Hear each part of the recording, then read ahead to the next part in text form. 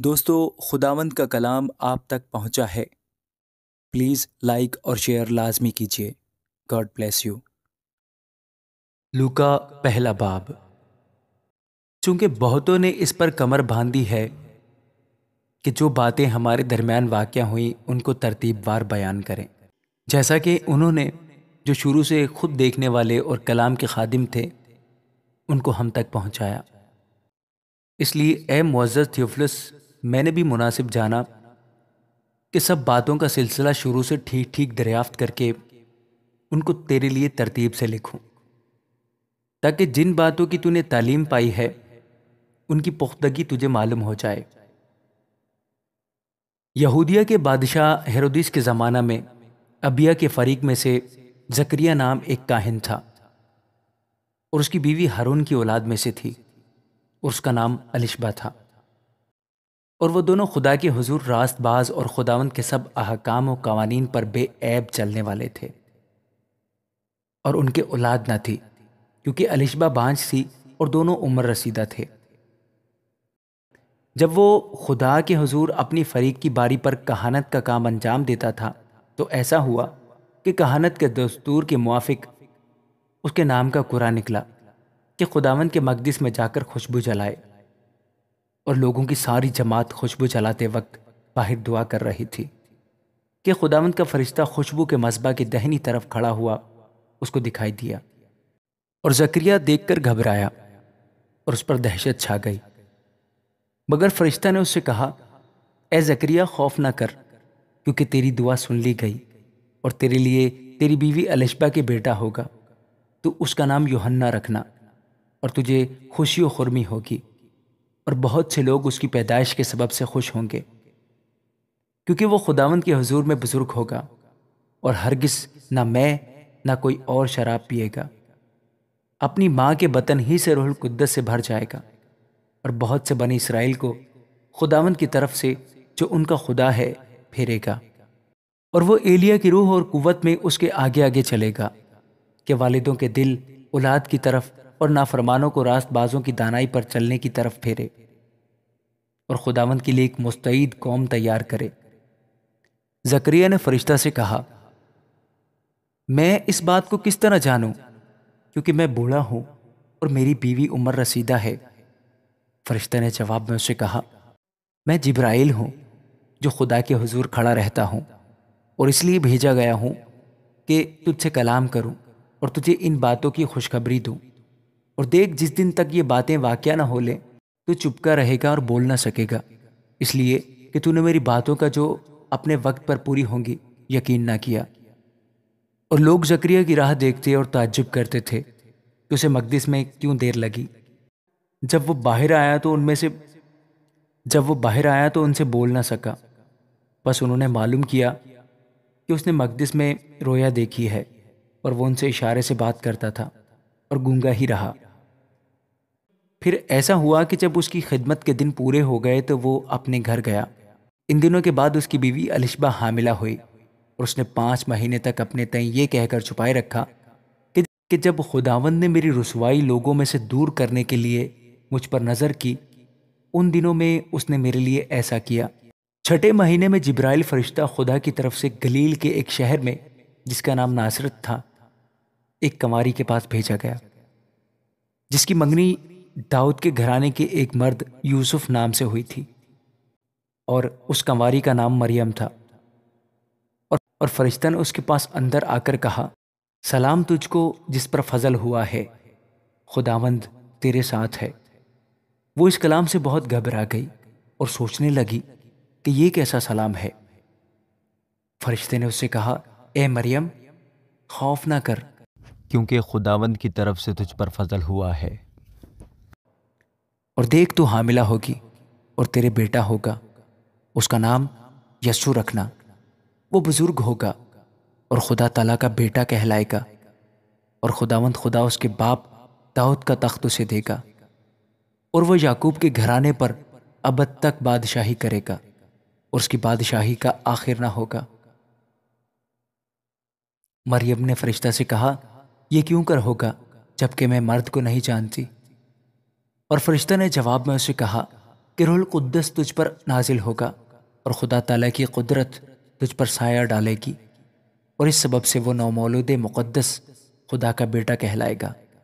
और देख, तेरी रिश्तेदार अलिशबा के भी बुढ़ापे में बेटा होने वाला है और अब उसको जो बाँझ कहलाती थी, छठा महीना है, क्योंकि जो कौल खुदा की तरफ़ से है, वो हर किस बेतासीर ना होगा। मरियम ने कहा, देख, मैं खुदावंद की बंदी हूँ मेरे लिए तेरे कौल के मुआफिक हो। तब फरिश्ता उसके पास से चला गया। उन्हीं दिनों मरियम उठी और जल्दी से पहाड़ी मुल्क में यहूदा के एक शहर को गई और जक्रिया के घर में दाखिल होकर अलिशबा को सलाम किया। और जो ही अलिशबा ने मरियम का सलाम सुना तो ऐसा हुआ कि बच्चा उसके रहम में उछल पड़ा और अलिशबा रुल कुद्दस से भर गई और बुलंद आवाज़ से पुकार कर कहने लगी, कि तू औरतों में मुबारक और तेरे रहम का फल मुबारक है। और मुझ पर यह फजल कहाँ से हुआ कि मेरे खुदावंद की माँ मेरे पास आई? क्योंकि देख, जो ही तेरे सलाम की आवाज़ मेरे कान में पहुँची, बच्चा मारे खुशी की मेरे रहम में उछल पड़ा। और मुबारक है वो जो ईमान लाई। क्योंकि जो बातें खुदावंद की तरफ़ से उससे कही गई थीं, वो पूरी होंगी। फिर मरियम ने कहा कि मेरी जान खुदावंद की बड़ाई करती है। और मेरी रूह मेरे मुनजी खुदा से खुश हुई। क्योंकि उसने अपनी बंदी की पस्त हाली पर नज़र की और देख, अब से लेकर हर जमाना के लोग मुझको मुबारक कहेंगे, क्योंकि उस कादिर ने मेरे लिए बड़े बड़े काम किए हैं और उसका नाम पाक है और उसका रहम उन पर जो उससे डरते हैं, पुश्त दर पुश्त रहता है। उसने अपने बाजू से ज़ोर दिखाया और जो अपने तई बड़ा समझते थे, उनको परागंदा किया। उसने इख्तियार वालों को तख्त से गिरा दिया और पस्त हालों को बुलंद किया। उसने भूखों को अच्छी चीज़ों से शेर कर दिया और दौलतमंदों को खाली हाथ लौटा दिया। उसने अपने खादिम इसराइल को संभाल लिया, ताकि अपनी उस रहमत को याद फरमाए, जो इब्राहिम और उसकी नस्ल पर अबद तक रहेगी, जैसा उसने हमारे बाप दादा से कहा था। और मरियम तीन महीने के करीब उसके साथ रहकर अपने घर को लौट गई और अलिशबा के वजह हमल का वक्त आ पहुँचा और उसके बेटा हुआ। और उसके पड़ोसियों और रिश्तेदारों ने यह सुनकर कि खुदावंद ने उस पर बड़ी रहमत की, उसके साथ खुशी मनाई। और आठवें दिन ऐसा हुआ कि वो लड़के का खतना करने आए और उसका नाम उसके बाप के नाम पर जक्रिया रखने लगे।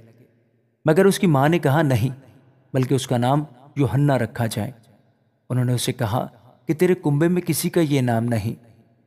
उन्होंने उसके बाप को इशारा किया कि तू इसका नाम क्या रखना चाहता है। उसने तख्ती मंगाकर यह नाम लिखा कि उसका नाम योहन्ना है और सबने ताज्जुब किया। उसी दम उसका मुँह और जबान खुल गई और वो बोलने और खुदा की हमद करने लगा और उनके आसपास के सब रहने वालों पर दहशत छा गई और यहूदिया के तमाम पहाड़ी मुल्क में इन सब बातों का चर्चा फैल गया। और सब सुनने वालों ने उनको दिल में सोचकर कहा तो ये लड़का कैसा होने वाला है? क्योंकि खुदावंद का हाथ उस पर था और उसका बाप जक्रिया रुल्कुद्दस से भर गया और नबूवत की राह से कहने लगा कि खुदावंद इसराइल के खुदा की हमद हो, क्योंकि उसने अपनी उम्मत पर तवज्जो करके उसे छुटकारा दिया और अपने खादिम दाऊद के घराने में हमारे लिए निजात का सींग निकाला। जैसा उसने अपने पाक नबियों की ज़ुबानी कहा था, जो कि दुनिया के शुरू से होते आए हैं। यानी हमको हमारे दुश्मनों से और सब कीना रखने वालों के हाथ से निजात बख्शी, ताकि हमारे बाप दादा पर रहम करे और अपने पाक अहद को याद फरमाए। यानी उस कसम को जो उसने हमारे बाप इब्राहिम से खाई थी, कि वो हमें ये अनायत करेगा कि अपने दुश्मनों के हाथ से छूट कर उसके हजूर पाकिजगी और रास्तबाजी से उम्र भर बेखौफ उसकी इबादत करें। और है लड़के तो खुदा ताला का नबी कहलाएगा, क्योंकि तो खुदावंद की राहें तैयार करने को उसके आगे आगे चलेगा, ताकि उसकी उम्मत को निजात का इल्म बख्शे, जो उनको गुनाहों की मुआफ़ी से हासिल हो। ये हमारे खुदा की एन रहमत से होगा, जिसके सबब से आलम बाला का आफताब हम पर तुलू करेगा, ताकि उनको जो अंधेरे और मौत के साय में बैठे हैं रोशनी बख्शे और हमारे कदमों को सलामती की राह पर डाले। और वह लड़का बढ़ता और रूह में कुत पाता गया और इसराइल पर ज़ाहिर होने के दिन तक जंगलों में रहा। आमीन। दोस्तों खुदावंद का कलाम आप तक पहुँचा है। प्लीज़ लाइक और शेयर लाजमी कीजिए। God bless you. लूका दूसरा बाब। उन दिनों में ऐसा हुआ कि कैसर ओगोस्तोस की तरफ़ से ये हुक्म जारी हुआ कि सारी दुनिया के लोगों के नाम लिखे जाएँ। ये पहली इसम नवीसी सूर्या के हाकिम कोरनिस के अहद में हुई और सब लोग नाम लिखवाने के लिए अपने शहर को गए। बस यूसुफ भी गलील के शहर नासरत से दाऊद के शहर बैतल हम को गया, जो यहूदिया में है। इसलिए कि वह दाऊद के घराने और औलाद से था। ताकि अपनी मंगेतर मरियम के साथ जो हामिला थी नाम लिखवाए। जब वो वहाँ थे तो ऐसा हुआ कि उसके वजह हमल का वक्त आ पहुँचा और उसका पहलौटा बेटा पैदा हुआ और उसने उसको कपड़े में लपेट कर चरनी में रखा, क्योंकि उनके वास्ते सराय में जगह ना थी। उसी इलाके में चरवाहे थे जो रात को मैदान में रहकर अपने गल्ला की निगहबानी कर रहे थे और खुदावंत का फरिश्ता उनके पास आ खड़ा हुआ और खुदावंत का जलाल उनके चौगिर्द चमका। और वह निहायत डर गए। मगर फरिश्ता ने उनसे कहा, डरो मत, क्योंकि देखो, मैं तुम्हें बड़ी खुशी की बशारत देता हूँ, जो सारी उम्मत के वास्ते होगी, कि आज दाऊद के शहर में तुम्हारे लिए एक मुनज्जी पैदा हुआ है, यानी मसीह खुदावंत। और इसका तुम्हारे लिए ये निशान है, कि तुम एक बच्चे को कपड़े में लिपटा और चरनी में पड़ा हुआ पाओगे, और यकायक उस फरिश्ते के साथ आसमानी लश्कर की एक गरूह खुदा की हमद करती और ये कहती हुई ज़ाहिर हुई कि आलम बाला पर खुदा की तमजीद हो और ज़मीन पर उन आदमियों में जिनसे वो राज़ी है सुलह।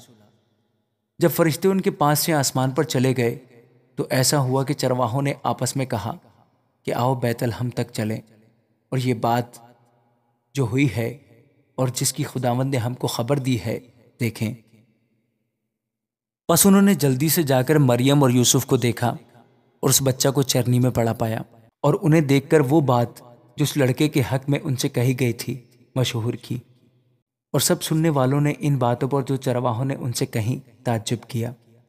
मगर मरियम इन सब बातों को अपने दिल में रखकर गौर करती रही और चरवाहे, जैसा उनसे कहा गया था, वैसा ही सब कुछ सुनकर और देखकर खुदा की तमजीद और हमद करते हुए लौट गए।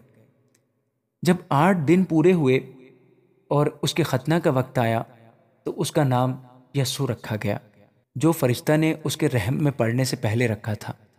फिर जब मूसा की शरीयत के मुआफिक उनके पाक होने के दिन पूरे हो गए तो वो उसको यरूशलम में लाए, ताकि खुदावंत के आगे हाजिर करें। जैसा कि खुदावंत की शरीयत में लिखा है कि हर एक पहलोटा खुदावंत के लिए मुकदस ठहरेगा। और खुदावंत की शरीयत के इस कौल के मुआफिक कुर्बानी करें कि कुमरियों को एक जोड़ा या कबूतर के दो बच्चे लाओ। और देखो, यरूशलेम में शमौन नाम एक आदमी था, और वह आदमी रास्त पास और खुदा तरस और इसराइल की तसल्ली का मुंतजर था, और रूहुल कुद्दस उस पर था, और उसको रूहुल कुद्दस से आगाही हुई थी कि जब तक तू खुदावंत के मसीह को देख ना ले, मौत को ना देखेगा। रूह की हदायत से हैगल में आया, और जिस वक्त माँ बाप उस लड़के यसु को अंदर लाए ताकि उसके लिए शरीयत के दस्तूर पर अमल करें। तो उसने उसे अपनी गोद में लिया और खुदा की हमद करके कहा कि अह मालिक, अब तो अपने खादिम को अपने कॉल के मुआफिक सलामती से रुखसत करता है, क्योंकि मेरी आँखों ने तेरी निजात देख ली है, जो तूने सब उम्मतों के रूबरू तैयार की है, ताकि गैर कौमों को रोशनी देने वाला नूर और तेरी उम्मत इसराइल का जलाल बने।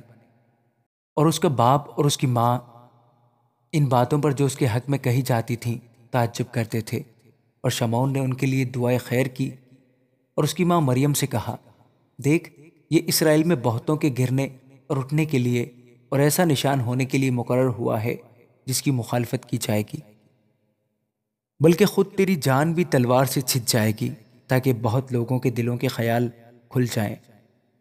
और आशिर के कबीला से हन्ना नाम फैनवेल की बेटी एक नबिया थी वो बहुत उम्र रसीदा थी और उसने अपने कंवारपन के बाद सात बरस एक शौहर के साथ गुजारे थे। वो चौरासी बरस से बेवा थी और हैकल से जुदाना होती थी, बल्कि रात, दिन, रोज़ों और दुआओं के साथ इबादत किया करती थी। और वो उसी घड़ी वहाँ आकर खुदा का शुक्र करने लगी और उन सबसे जो यरूशलेम के छुटकारे के मुंतजर थे, उसकी बाबत बातें करने लगी। और जब वो खुदावंद की शरीयत के मुताबिक सब कुछ कर चुके तो गलील में अपने शहर नासरत को फिर गए और वह लड़का बढ़ता और कुवत पाता गया और हिकमत से मामूर होता गया और खुदा का फजल उस पर था। उसके माँ बाप हर बरस ईद फसा पर यरूशलेम को जाया करते थे। और जब वह बारह बरस का हुआ तो वह ईद के दस्तूर के मुआफिक यरूशलेम को गए। जब वो उन दिनों को पूरा करके लौटे तो वो लड़का यसू यरूशलेम में रह गया और उसके माँ बाप को खबर ना हुई। मगर ये समझ कर के वो काफिला में है एक मंजिल निकल गए और उसे अपने रिश्तेदारों और जान पहचानों में ढूँढने लगे। जब ना मिला तो उसे ढूंढते हुए यरूशलेम तक वापस गए। और तीन रोज के बाद ऐसा हुआ कि उन्होंने उसे हैकल में उस्तादों के बीच में बैठे, उनकी सुनते और उनसे सवाल करते हुए पाया। और जितने उसकी सुन रहे थे, उसकी समझ और उसके जवाबों से दंग थे। वो उसे देखकर हैरान हुए और उसकी माँ ने उससे कहा, बेटा, तूने क्यों हमसे ऐसा किया? देख, तेरा बाप और मैं कुड़ते हुए तुझे ढूंढते थे। उसने उनसे कहा, तुम मुझे क्यों ढूंढते थे? क्या तुमको मालूम न था कि मुझे अपने बाप के यहाँ होना ज़रूर है? मगर जो बात उसने उनसे कही, उसे वो ना समझे, और वो उनके साथ रवाना होकर नासरत में आया और उनके ताबे रहा, और उसकी माँ ने ये सब बातें अपने दिल में रखी। और यसु हिकमत और कद कामत में और खुदा की और इंसान की मकबूलियत में तरक्की करता गया। आमीन। दोस्तों, खुदावंद का कलाम आप तक पहुँचा है। प्लीज़ लाइक और शेयर लाजमी कीजिए। God bless you. लूका तीसरा बाब। तिब्रियस कैसर की हुकूमत के पंद्रहवें बरस जब पेंतुस पेलातुस यहूदिया का हाकिम था और हेरोदिस गलील का और उसका भाई फिलिपस एथोरिया और तरखोनीतिस का और लिसानियास इबलीने का हाकिम था। और हन्ना और कायफा सरदार काहिन थे। उस वक्त खुदा का कलाम बियाबान में जक्रिया के बेटे यूहन्ना पर नाजिल हुआ। और वह यर्दन के सारे गिरद नवाह में जाकर गुनाहों की मुआफ़ी के लिए तौबा के बपतिस्मा की मुनादी करने लगा। जैसा यसाया नबी के कलाम की किताब में लिखा है कि बियाबान में पुकारने वाले की आवाज़ आती है कि खुदावंद की राहत तैयार करो, उसके रास्ते सीधे बनाओ। हर एक घाटी भर दी जाएगी और हर एक पहाड़ और टीला नीचा किया जाएगा। और जो टीड़ा है, सीधा, और जो ऊँचा नीचा है, हमवार रास्ता बनेगा। और हर बशर खुदा की निचात देखेगा। बस जो लोग उससे बपतिस्मा लेने को निकल कर आते थे, वो उनसे कहता था, ऐ सांप के बच्चों, तुम्हें किसने जताया कि आने वाले गजब से भागो? बस तौबा के मुआफिक फल लाओ और अपने दिलों में ये कहना शुरू ना करो कि इब्राहिम हमारा बाप है, क्योंकि मैं तुमसे कहता हूँ कि खुदा इन पत्थरों से इब्राहिम के लिए औलाद पैदा कर सकता है। और अब तो दरख्तों की जड़ पर कुल्हाड़ा रखा है। जो दरख्त अच्छा फल नहीं लाता वो काटा और आग में डाला जाता है। लोगों ने उससे पूछा, फिर हम क्या करें? उसने जवाब में उनसे कहा, जिसके पास दो कुर्ते हों, वो उसको जिसके पास ना हो, बांट दे। और जिसके पास खाना हो, वो भी ऐसा ही करे। और महसूल लेने वाले भी बपतस्मा लेने को आए। और उससे पूछा कि उस्ताद, हम क्या करें?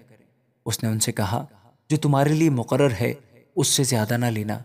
और सिपाहियों ने भी उससे पूछा कि, हम क्या करें? उसने उनसे कहा, न किसी पर जुल्म करो और न किसी से नाहक कुछ लो और अपनी तनख्वाह पर कफायत करो।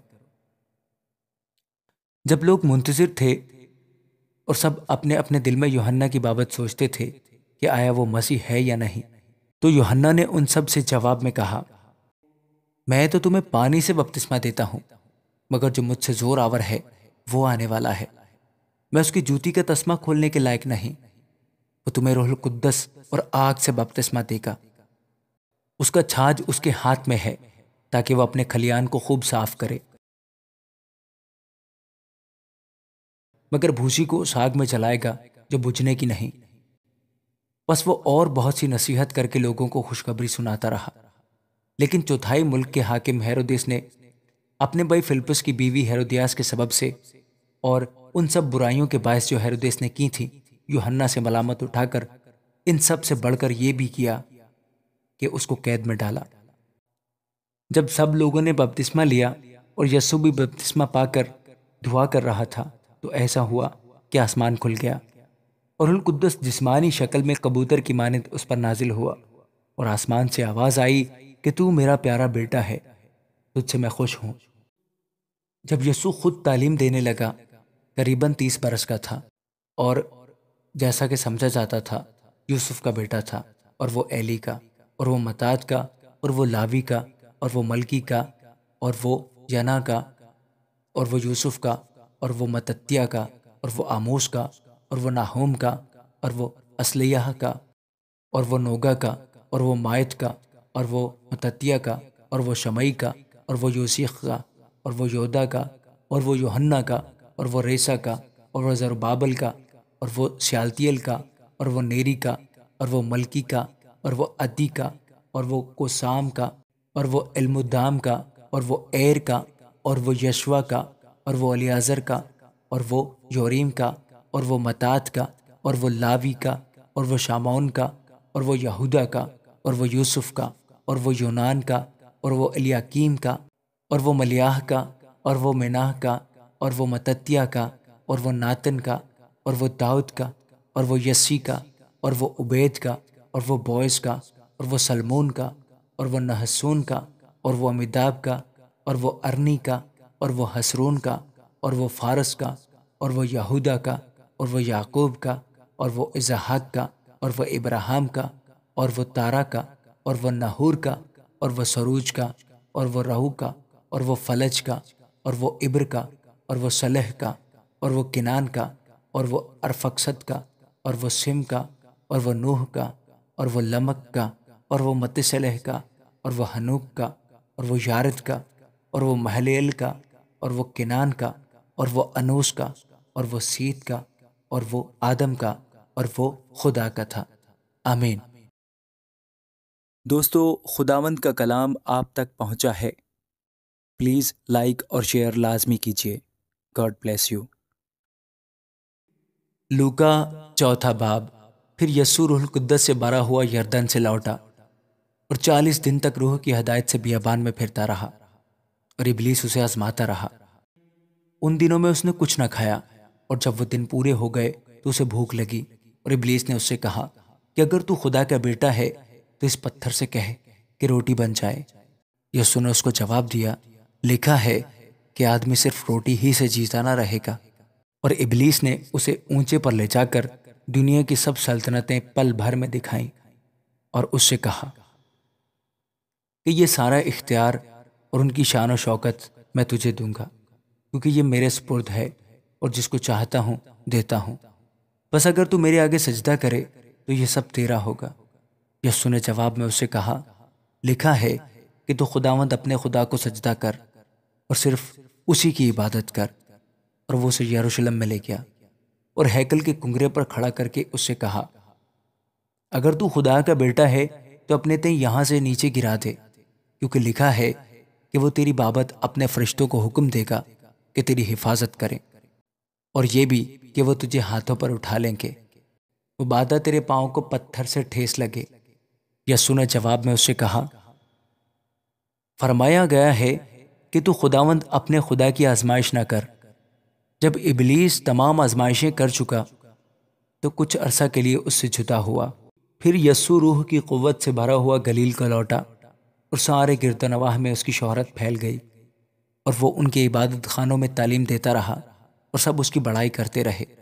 और नासरत में आया, जहाँ उसने परवरिश पाई थी और अपने दस्तूर के मुआफिक सबत के दिन इबादत खाना में गया और पढ़ने को खड़ा हुआ। और यसाया नबी की किताब उसको दी गई और किताब खोलकर उसने वो मकाम निकाला, जहाँ ये लिखा था कि खुदावंद का रूह मुझ पर है, इसलिए कि उसने मुझे गरीबों को खुशखबरी देने के लिए मसाह किया। उसने मुझे भेजा है कि कैदियों को रिहाई और अंधों को बिनाई पाने की खबर सुनाऊं। कुचले हुओं को आज़ाद करूँ और खुदावंद के साले मकबूल की मुनादी करूँ। फिर वो किताब बंद करके और खादिम को वापस देकर बैठ गया।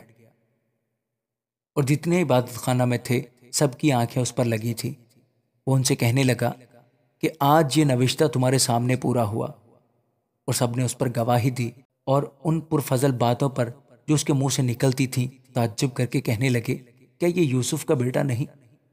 उसने उनसे कहा, तुम अलबत्ता ये मिसल मुझ पर कहोगे कि, ए हकीम, अपने आप को तो अच्छा कर। जो कुछ हमने सुना है कि कफर नहुम में किया गया, यहाँ अपने वतन में भी कर। और उसने कहा, मैं तुमसे सच कहता हूँ कि कोई नबी अपने वतन में मकबूल नहीं होता। और मैं तुमसे सच कहता हूँ कि एलिया के दिनों में जब साढ़े तीन बरस आसमान बंद रहा, यहाँ तक कि सारे मुल्क में सख्त काल पड़ा। बहुत सी बेवाएँ इसराइल में थीं, लेकिन एलिया उनमें से किसी के पास न भेजा गया, मगर मुल्क सैदा के शहर सारपत में एक बेवा के पास। और अलिश्मा नबी के वक्त में इसराइल के दरमियान बहुत से कोड़ी थे, लेकिन उनमें से कोई पाक साफ़ ना किया गया, मगर नुमान सुरयानी जितने इबादत खाना में थे, इन बातों को सुनते ही कहर से भर गए और उठकर उसको शहर से बाहर निकाला उस पहाड़ की चोटी पर ले गए, जिस पर उनका शहर आबाद था, ताकि उसे सर के बल गिरा दें। मगर वो उनके बीच में से निकलकर चला गया। फिर वो गलील के शहर कफर नहूम को गया और सबत के दिन उन्हें तालीम दे रहा था। और लोग उसकी तालीम से हैरान थे, क्योंकि उसका कलाम इख्तियार के साथ था। और इबादत खाना में एक आदमी था, जिसमें नापाक दियो की रूह थी। वो बड़ी आवाज़ से चिल्ला उठा कि ए यसु नासरी, हमें तुझसे क्या काम? क्या तू हमें हलाक करने आया है? मैं तुझे जानता हूँ कि तू कौन है। खुदा का कुद्दूस है। यसु ने उसे झिड़क कर कहा, चुप रहे और उसमें से निकल जा। इस पर बदरूह उसे बीच में पटक कर बगैर जरर पहुँचाए उसमें से निकल गई और सब हैरान होकर आपस में कहने लगे कि ये कैसा कलाम है, क्योंकि वो इख्तियार और कुदरत से नापाक रूहों को हुक्म देता है और वो निकल जाती हैं। और गिरदोनवा में हर जगह उसकी धूम मच गई। फिर वो इबादत खाने से उठकर शमौन के घर में दाखिल हुआ और शमौन की सास को बड़ी तप चढ़ी हुई थी और उन्होंने उसके लिए उससे अर्ज़ की। वो खड़ा होकर उसकी तरफ़ झुका और तब को छिड़का तो उतर गई और वो उसी दम उठकर उनकी खिदमत करने लगी। और सूरज के डूबते वक्त वो सब लोग जिनके यहाँ तरह तरह की बीमारियों के मरीज़ थे, उन्हें उसके पास लाए और उसने उनमें से हर एक पर हाथ रखकर उन्हें अच्छा किया। और बदरूहें भी चिल्लाकर और ये कहकर कि तू खुदा का बेटा है, बहुतों में से निकल गई। और वो उन्हें झड़कता और बोलने न देता था, क्योंकि वो जानती थी कि ये मसीह है। जब दिन हुआ तो वो निकलकर एक वीरान जगह में गया और भीड़ की भीड़ उसको ढूंढती हुई उसके पास आई और उसको रोकने लगी कि हमारे पास से ना जा। उसने उनसे कहा, मुझे और शहरों में भी खुदा की बादशाही की खुशखबरी सुनाना ज़रूर है, क्योंकि मैं इसीलिए भेजा गया हूँ। और वह कलील के इबादत खानों में मुनादी करता रहा। आमीन। दोस्तों, खुदावंद का कलाम आप तक पहुँचा है। प्लीज़ लाइक और शेयर लाजमी कीजिए। God bless you. लूका पांचवा बाब। जब भीड़ उस पर गिरी पड़ती थी और खुदा का कलाम सुनती थी और वह गनीसरत की झील के किनारे खड़ा था तो ऐसा हुआ कि उसने झील के किनारे दो कश्तियाँ लगी देखी। लेकिन मछली पकड़ने वाले उन पर से उतरकर जाल धो रहे थे और उसने उन कश्तियों में से एक पर चढ़कर जो शमौन की थी, उससे दरख्वास्त की कि किनारे से ज़रा हटा ले चल। और वो बैठकर लोगों को कश्ती पर तालीम देने लगा। जब कलाम कर चुका तो शमौन से कहा, गहरे में ले चल और तुम शिकार के लिए अपने जाल डालो। शमौन ने जवाब में कहा, ए उस्ताद, हमने रात भर मेहनत की और कुछ हाथ ना आया। मगर तेरे कहने से जाल डालता हूँ। ये क्या? और वो मछलियों का बड़ा गोल घेर लाए और उनके जाल फटने लगे। और उन्होंने अपने शरीकों को जो दूसरी कश्ती पर थे इशारा किया कि आओ, हमारी मदद करो। बस उन्होंने आकर दोनों कश्तियाँ यहाँ तक भर दी कि डूबने लगी। शमौन पत्रस ये देखकर यस्सु के पाँव में गिरा और कहा, ए खुदावंद, मेरे पास से चला जा, क्योंकि मैं गुनहगार आदमी हूँ। क्योंकि मछलियों के इस शिकार से जो उन्होंने किया, वो और उसके सब साथी बहुत हैरान हुए। और वैसे ही जब्दी के बेटे याकूब और योहन्ना भी, जो शमौन के शरीक थे, हैरान हुए। यसु ने शमौन से कहा, खौफ ना कर, अब से तू आदमियों का शिकार करेगा। वो कश्तियों को किनारे पर ले आए और सब कुछ छोड़कर उसके पीछे हो लिए। जब वो एक शहर में था तो देखो कोड़ से भरा हुआ एक आदमी यस्सु को देखकर मुँह के बल गिरा। और उसकी मिन्नत करके कहने लगा, ए खुदावंद, अगर तू चाहे तो मुझे पाक साफ़ कर सकता है। उसने हाथ बढ़ाकर उसे छुआ और कहा, मैं चाहता हूँ तू पाक साफ़ हो जा। और फ़ौरन उसका कोड जाता रहा। और उसने उसे ताकीद की कि किसी से ना कहना, बल्कि जाकर अपने तय काहिन को दिखा और जैसा मूसा ने मुकर किया है, अपने पाक साफ़ हो जाने की बाबत नज़र गुजरान ताकि उनके लिए गवाही हो। लेकिन उसका चर्चा ज़्यादा फैला और बहुत से लोग जमा हुए कि उसकी सुने और अपनी बीमारियों से शिफा पाए। मगर वो जंगलों में अलग जाकर दुआ किया करता था। और एक दिन ऐसा हुआ कि वो तालीम दे रहा था और फरीसी और शरा के मौलम वहाँ बैठे थे, जो गलील के हर गाँव और यहूदिया और यरूशलेम से आए थे। और खुदावंद की कुदरत शिफा बख्शने को उसके साथ थी। और देखो, कई मर्द एक आदमी को जो मफलूज था चारपाई पर लाए और कोशिश की कि उसे अंदर लाकर उसके आगे रखें। और जब भीड़ के सबब से उसको अंदर ले जाने की राह ना पाई तो कोठे पर चढ़कर खपरेल में से उसको खटोले समेत बीच में यस्सु के सामने उतार दिया। उसने उनका ईमान देखकर कहा, ए आदमी, तेरे गुनाह मुआफ हुए। इस पर फ़कीर और फरीसी सोचने लगे कि ये कौन है जो कुफर बकता है? खुदा के सिवा और कौन गुनाह मुआफ कर सकता है? यसु ने उनके ख्याल को मालूम करके जवाब में उनसे कहा, तुम अपने दिलों में क्या सोचते हो? आसान क्या है ये कहना? कि तेरे गुनाह मुआफ हुए, या ये कहना कि उठ और चल फिर। लेकिन इसलिए कि तुम जानो कि इबन आदम को ज़मीन पर गुनाह मुआफ करने का इख्तियार है। उसने मफलूज से कहा, मैं तुझसे कहता हूँ, उठ और अपना खटोला उठाकर अपने घर चला जा। और वो उसी दम उनके सामने से उठा और जिस पर पड़ा था, उसे उठाकर खुदा की तमजीद करता हुआ अपने घर चला गया। वो सब के सब हैरान हुए और खुदा की तमजीद करने लगे।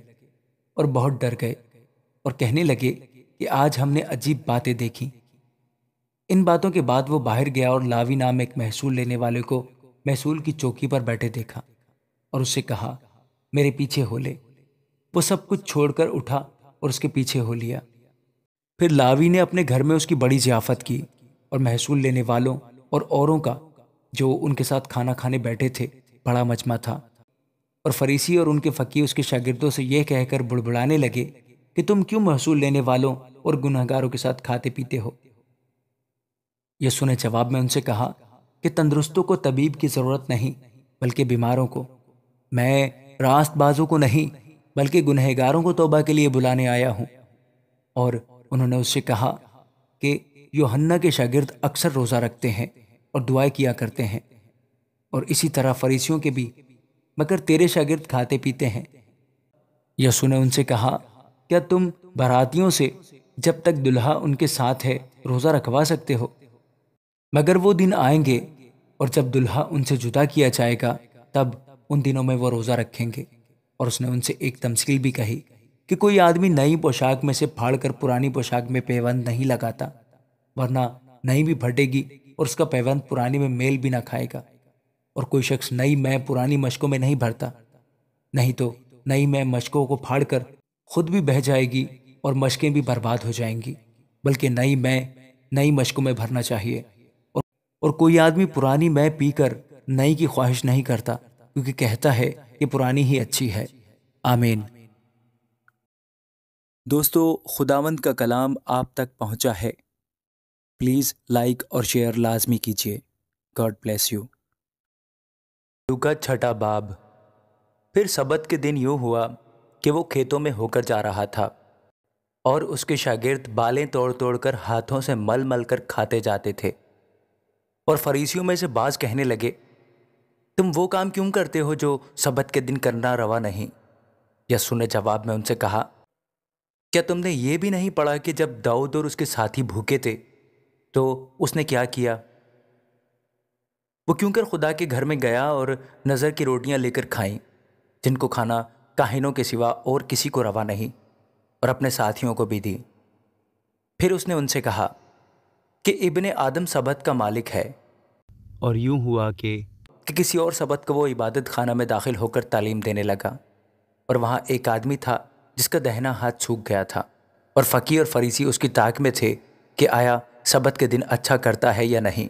ताकि उस पर इल्ज़ाम लगाने का मौका पाए। मगर उसको उनके ख्याल मालूम थे। बस उसने उस आदमी से जिसका हाथ सूखा था कहा, उठ और बीच में खड़ा हो। वो उठ खड़ा हुआ। यसु ने उनसे कहा, मैं तुमसे ये पूछता हूँ कि आया सबत के दिन नेकी करना रवा है या बदी करना? जान बचाना या हलाक करना?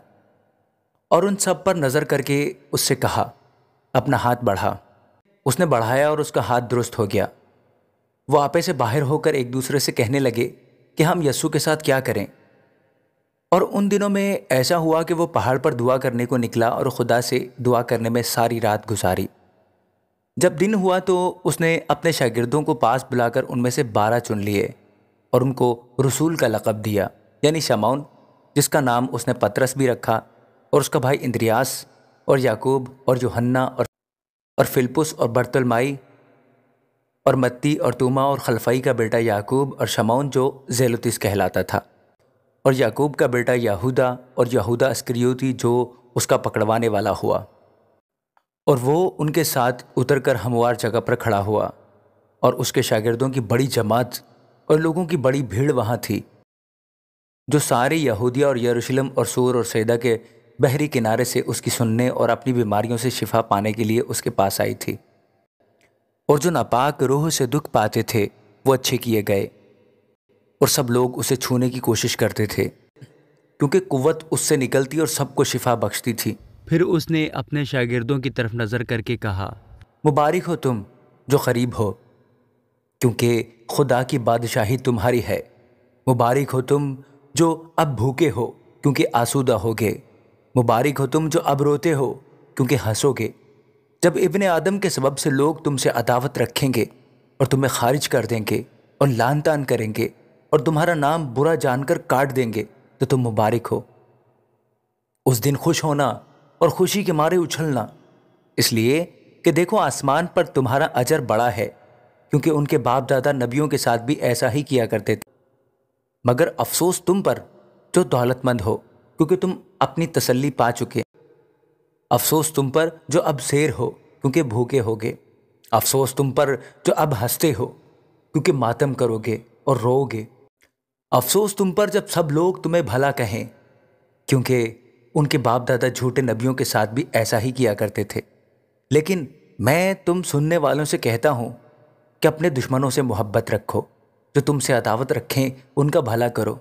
तुम, जो तुम पर लानत करें, उनके लिए बरकत चाहो। जो तुम्हारी तहकीर करें, उनके लिए दुआ करो। जो तेरे एक गाल पर तमाचा मारे, दूसरा भी उसकी तरफ़ फेर दे। और जो तेरा चोगा ले, उसको कुर्ता लेने से भी मना ना कर। जो कोई तुझसे मांगे, उसे दे। और जो तेरा माल ले ले, उससे तलब ना कर। और जैसा तुम चाहते हो कि लोग तुम्हारे साथ करें, तुम भी उनके साथ वैसा ही करो। अगर तुम अपने मोहब्बत रखने वालों ही से मोहब्बत रखो तो तुम्हारा क्या एहसान है? क्योंकि गुनहगार भी अपने मोहब्बत रखने वालों से मोहब्बत रखते हैं। और अगर तुम उन्हीं का भला करो, जो तुम्हारा भला करें तो तुम्हारा क्या एहसान है? क्योंकि गुनहगार भी ऐसा ही करते हैं। और अगर तुम उन्हीं को कर्ज दो, जिनसे वसूल होने की उम्मीद रखते हो तो तुम्हारा क्या एहसान है? गुनहगार भी गुनहगारों को कर्ज देते हैं, ताकि पूरा वसूल कर लें। मगर तुम अपने दुश्मनों से मोहब्बत रखो और भला करो। और बग़ैर नाउमीद हुए कर्ज दो तो तुम्हारा अजर बड़ा होगा। और तुम खुदा ताला के बेटे ठहरोगे, क्योंकि वो नाशुकरों और बदों पर भी मेहरबान है। जैसा तुम्हारा बाप रहीम है, तुम भी रहम दिल हो। ऐब जोई ना करो, तुम्हारी भी ऐब जोई ना की जाएगी। मुजरिम ना ठहराओ, तुम भी मुजरिम ना ठहराए जाओगे। खलासी दो, तुम भी खलासी पाओगे। दिया करो, तुम्हें भी दिया जाएगा। अच्छा पैमाना दाब दाब कर और हिला हिला कर और लबरेज करके तुम्हारे पल्ले में डालेंगे, क्योंकि जिस पैमाना से तुम नापते हो, उसी से तुम्हारे लिए नापा जाएगा। और उसने उनसे एक तमसील भी कही कि क्या अंधे को अंधा राह दिखा सकता है? क्या दोनों गढ़े में ना गिरेंगे? शागिर्द अपने उस्ताद से बड़ा नहीं, बल्कि हर एक जब कामिल हुआ तो अपने उस्ताद जैसा होगा। तो क्यों अपने भाई की आँख के तिनके को देखता है? और अपनी आँख के शहतीर पर गौर नहीं करता। और जब तू अपनी आँख के शहतीर को नहीं देखता तो अपने भाई से क्यों कर कह सकता है कि, भाई, ला, उस तिनके को जो तेरी आँख में है, निकाल दूँ। अरे आकार, पहले अपनी आँख से तो शहतीर निकाल, फिर उस तिनके को, जो तेरे भाई की आँख में है, अच्छी तरह देख कर निकाल सकेगा। क्योंकि कोई अच्छा दरख्त नहीं, जो बुरा फल लाए, और ना कोई बुरा दरख्त है, जो अच्छा फल लाए। हर दरख्त अपने फल से पहचाना जाता है, क्योंकि झाड़ियों से अंजीर नहीं तोड़ते और ना झड़बेरी से अंगूर। अच्छा आदमी अपने दिल के अच्छे ख़जाने से अच्छी चीज़ें निकालता है और बुरा आदमी बुरे ख़जाने से बुरी चीज़ें निकालता है, क्योंकि जो दिल में भरा है, वही उसके मुँह पर आता है। जब तुम मेरे कहने पर अमल नहीं करते तो क्यों मुझे खुदावंद खुदावंद कहते हो? जो कोई मेरे पास आता और मेरी बातें सुनकर उन पर अमल करता है, मैं तुम्हें जताता हूँ कि वो किसकी मानद है। वो उस आदमी की मानद है। जिसने घर बनाते वक्त ज़मीन गहरी खोदकर चट्टान पर बुनियाद डाली। जब तूफ़ान आया और सैलाब उस घर से टकराया तो उसे हिला ना सका क्योंकि वो मज़बूत बना हुआ था। लेकिन जो सुनकर अमल में नहीं लाता वो उस आदमी की मानद है जिसने ज़मीन पर घर को बेबुनियाद बनाया। जब सैलाब उस पर ज़ोर से आया तो वो फिलफोर गिर पड़ा और वह घर बिल्कुल बर्बाद हुआ। आमीन। दोस्तों खुदावंद का कलाम आप तक पहुँचा है। प्लीज़ लाइक और शेयर लाजमी कीजिए। God bless you. लूका सातवां बाब। जब वो लोगों को अपनी सब बातें सुना चुका तो कफर नहुम में आया और किसी सूबादार का नौकर जो उसको अज़ीज़ था, बीमारी से मरने को था, उसने यसू की खबर सुनकर यहूदियों के कई बुज़ुर्गों को उसके पास भेजा और उससे दरख्वास्त की कि आकर मेरे नौकर को अच्छा कर। वो यसू के पास आए और उसकी बड़ी मिन्नत करके कहने लगे कि वो इस लायक है कि तू तो इसकी खातिर ये करे, क्योंकि वो हमारी कौम से मोहब्बत रखता है और हमारे इबादत खाना को उसी ने बनवाया। यसु उनके साथ चला, मगर जब वो घर के करीब पहुँचा तो सूबादार ने बास दोस्तों की मार्फत उसे ये कहला भेजा कि, ए खुदावंद, तकलीफ़ ना कर, क्योंकि मैं इस लायक नहीं कि तू मेरी छत के नीचे आए। इसी सबब से मैंने अपने आप को भी तेरे पास आने के लायक ना समझा, बल्कि ज़ुबान से कह दे तो मेरा खादिम शिफा पाएगा, क्योंकि मैं भी दूसरे के इख्तियार में हूँ और सिपाही मेरे मातहत हैं। और जब एक से कहता हूँ, जा तो वो जाता है, और दूसरे से, आ तो वो आता है, और अपने नौकर से कि ये कर तो वो करता है। यसु ने यह सुनकर उस पर ताज्जब किया और फिर कर उस बड़ी भीड़ से, जो उसके पीछे आती थी, कहा, मैं तुमसे कहता हूँ कि मैंने ऐसा ईमान इसराइल में भी नहीं पाया और भेजे हुए लोगों ने घर में वापस आकर उस नौकर को तंदुरुस्त पाया। थोड़े अरसा के बाद ऐसा हुआ कि वह नाइन नाम एक शहर को गया उसके शागिर्द और बहुत से लोग उसके हमरा थे। जब वो शहर के फाटक के नज़दीक पहुँचा तो देखो एक मुर्दा को बाहर ले जाते थे। वो अपनी माँ का इकलौता बेटा था और वो बेवा थी और शहर के बहुतेरे लोग उसके साथ थे।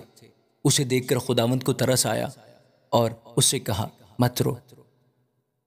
उसने पास आकर जनाजा को छुआ और उठाने वाले खड़े हो गए और उसने कहा, ए जवान, मैं तुझसे कहता हूँ, उठ। वो मुर्दा उठ बैठा और बोलने लगा और उसने उसे, उसकी माँ को सौंप दिया और सब पर दहशत छा गई और वो खुदा की तमजीद करके कहने लगे कि एक बड़ा नबी हम में बरपा हुआ है और खुदा ने अपनी उम्मत पर तवज्जो की है और उसकी नस्बत ये खबर सारे यहूदिया और तमाम गिरद नवाह में फैल गई। और योहन्ना को उसके शागिर्दों ने इन सब बातों की खबर दी। इस पर योहन्ना ने अपने शागिर्दों में से दो को बुलाकर खुदावन के पास ये पूछने को भेजा कि, आने वाला तू ही है या हम दूसरे की राह देखें? उन्होंने उसके पास आकर कहा, योहन्ना, बपतिस्मा देने वाले ने हमें तेरे पास ये पूछने को भेजा है कि, आने वाला तू ही है या हम दूसरे की राह देखें? उसी घड़ी उसने बहुतों को बीमारियों और आफतों और बुरी रूहों से निजात बख्शी। और बहुत से अंधों को बिनाई अता की। उसने जवाब में उनसे कहा कि जो कुछ तुमने देखा और सुना है, जाकर योहन्ना से बयान कर दो कि अंधे देखते हैं, लंगड़े चलते फिरते हैं, कोड़ी पाक साफ़ किए जाते हैं, बहरे सुनते हैं, मुर्दे ज़िंदा किए जाते हैं, गरीबों को खुशखबरी सुनाई जाती है। और मुबारक है वो जो मेरे सबब से ठोकर ना खाए। जब योहन्ना के कासिद चले गए तो यसू योहन्ना के हक में लोगों से कहने लगा कि तुम बियाबान में क्या देखने गए थे? क्या हवा से हिलते हुए सरकंडे को? तो फिर क्या देखने गए थे? क्या महीन कपड़े पहने हुए शख्स को? देखो, जो चमकदार पोशाक पहनते और ऐशो इशरत में रहते हैं, वो बादशाही महलों में होते हैं। तो फिर तुम क्या देखने गए थे? क्या एक नबी को? हाँ मैं तुमसे कहता हूँ, बल्कि नबी से भी बड़े को। ये वही है जिसकी बाबत लिखा है कि देख मैं अपना पैगंबर तेरे आगे भेजता हूँ, जो तेरी राह तेरे आगे तैयार करेगा। मैं तुमसे कहता हूँ कि जो औरतों से पैदा हुए हैं, उनमें योहन्ना बपतिस्मा देने वाले से कोई बड़ा नहीं, लेकिन जो खुदा की बादशाही में छोटा है, वो उससे बड़ा है। और सब आम लोगों ने जब सुना तो उन्होंने और महसूल लेने वालों ने भी योहन्ना का बपतिस्मा लेकर खुदा को रास्तबाज मान लिया। मगर फरीसियों और शरा के आलिमों ने उससे बपतिस्मा ना लेकर खुदा के इरादा को अपनी नस्बत बातिल कर दिया। बस इस जमाने के आदमियों को मैं किससे तशबी दूँ और वो किसकी मानद हैं? उन लड़कों की मानद हैं जो बाज़ार में बैठे हुए एक दूसरे को पुकार कर कहते हैं कि हमने तुम्हारे लिए बांसली बजाई और तुम ना नाचे। हमने मातम किया और तुम ना रोए। क्योंकि यूहन्ना बपतिस्मा देने वाला ना तो रोटी खाता हुआ आया, ना मैं पीता हुआ। और तुम कहते हो कि उसमें बदरू है। और इबन आदम खाता पीता आया और तुम कहते हो कि देखो, खाओ और शराबी आदमी, महसूल लेने वालों और गुनहगारों का यार। लेकिन हिकमत अपने सब लड़कों की तरफ़ से रास्त साबित हुई। फिर किसी फरीसी ने उससे दरख्वास्त की कि मेरे साथ खाना खा। बस वो उस फरीसी के घर जाकर खाना खाने बैठा। तो देखो, एक बदचलन औरत जो उस शहर की थी, ये जान कर कि वो उस फरीसी के घर में खाना खाने बैठा है, संगे मरमर के इत्तरदान में इत्तर लाई। और उसके पाँव के पास रोती हुई पीछे खड़ी होकर उसके पाँव आंसुओं से भिगोने लगी। और अपने सर के बालों से उनको पहुँचा और उसके पाँव बहुत चूमे और उन पर इतर डाला। उसकी दावत करने वाला फरीसी ये देखकर अपने जी में कहने लगा कि अगर ये शख्स नबी होता तो जानता कि जो उसे छूती है वो कौन और कैसी औरत है, क्योंकि बदचलन है। यह सुने जवाब में उससे कहा ए शमौन, मुझे तुझसे कुछ कहना है। उसने कहा, ए उस्ताद, कह, किसी साहूकार के दो कर्जदार थे, एक पाँच सौ दिनार का, दूसरा पचास का। जब उनके पास अदा करने को कुछ न रहा तो उसने दोनों को बख्श दिया। बस उनमें से कौन उससे ज़्यादा मोहब्बत रखेगा? शमौन ने जवाब में कहा, मेरी दानिश में वो जिसे उसने ज़्यादा बख्शा। उसने उससे कहा, तूने ठीक फैसला किया। और उस औरत की तरफ़ फिर कर उसने शमौन से कहा, क्या तू इस औरत को देखता है? मैं तेरे घर में आया। तूने मेरे पाँव धोने को पानी ना दिया, मगर इसने मेरे पाँव आंसुओं से भिगो दिए और अपने बालों से पूछे। तूने मुझको भूसा ना दिया, मगर इसने जब से मैं आया हूँ, मेरे पाँव चूमना ना छोड़ा। तूने मेरे सर में तेल न डाला, मगर इसने मेरे पाँव पर इत्तर डाला। इसीलिए मैं तुझसे कहता हूँ कि इसके गुनाह जो बहुत थे, मुआफ हुए, क्योंकि इसने बहुत मोहब्बत की, मगर जिसके थोड़े गुनाह मुआफ हुए, वो थोड़ी मोहब्बत करता है। और उस औरत से कहा तेरे गुनाह मुआफ हुए।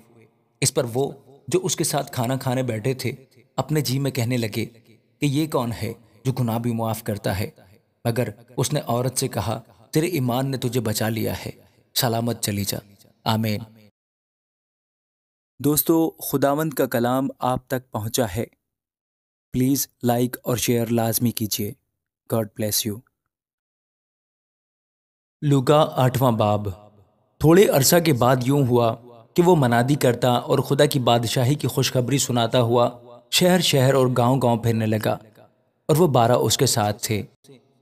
और बाज़ औरतें जिन्होंने बुरी रूहों और बीमारियों से शिफा पाई थी, यानी मरियम जो मगलेनी कहलाती थी, जिसमें से सात बदरूहें निकली थीं और योआना हेरदेस के दीवान खोजा की बीवी और सोसना और बहतेरी और औरतें भी थीं, जो अपने माल से उनकी खिदमत करती थी। फिर जब बड़ी भीड़ जमा हुई और हर शहर के लोग उसके पास चले आते थे, उसने तमसील में कहा कि एक बोने वाला बीज बोले निकला और बोते वक्त कुछ राह के किनारे गिरा और रोंदा गया और हवा के परिंदों ने उसे चुग लिया और कुछ चट्टान पर गिरा और उगकर सूख गया। इसलिए कि उसको तरी ना पहुँची और कुछ झाड़ियों में गिरा और झाड़ियों ने साथ साथ बढ़कर उसे दबा लिया और कुछ अच्छी ज़मीन में गिरा और उगकर सौ गुना फल लाया। ये कहकर उसने पुकारा। जिसके सुनने के कान हो वो सुन ले। वो सुन ले। उसके शागिर्दों ने उससे पूछा कि ये तमसील क्या है?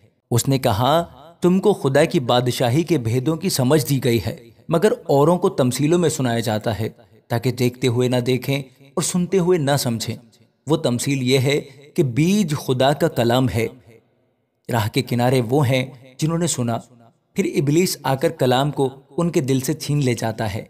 ऐसा ना हो कि ईमान लाकर निजात पाएँ और और चट्टान पर के वो हैं जो सुनकर कलाम को खुशी से कबूल कर लेते हैं, लेकिन जड़ नहीं रखते। मगर कुछ अरसा तक ईमान रखकर आजमाइश के वक्त फिर जाते हैं। और जो झाड़ियों में पड़ा, उससे वो लोग मुराद हैं, जिन्होंने सुना, लेकिन होते होते इस ज़िंदगी की फिक्रों और दौलत और ऐशो इशरत में फंस जाते हैं और उनका फल पकता नहीं। मगर अच्छी ज़मीन के वो हैं जो कलाम को सुनकर उम्दा और नेक दिल में संभाले रहते और सबर से फल लाते हैं।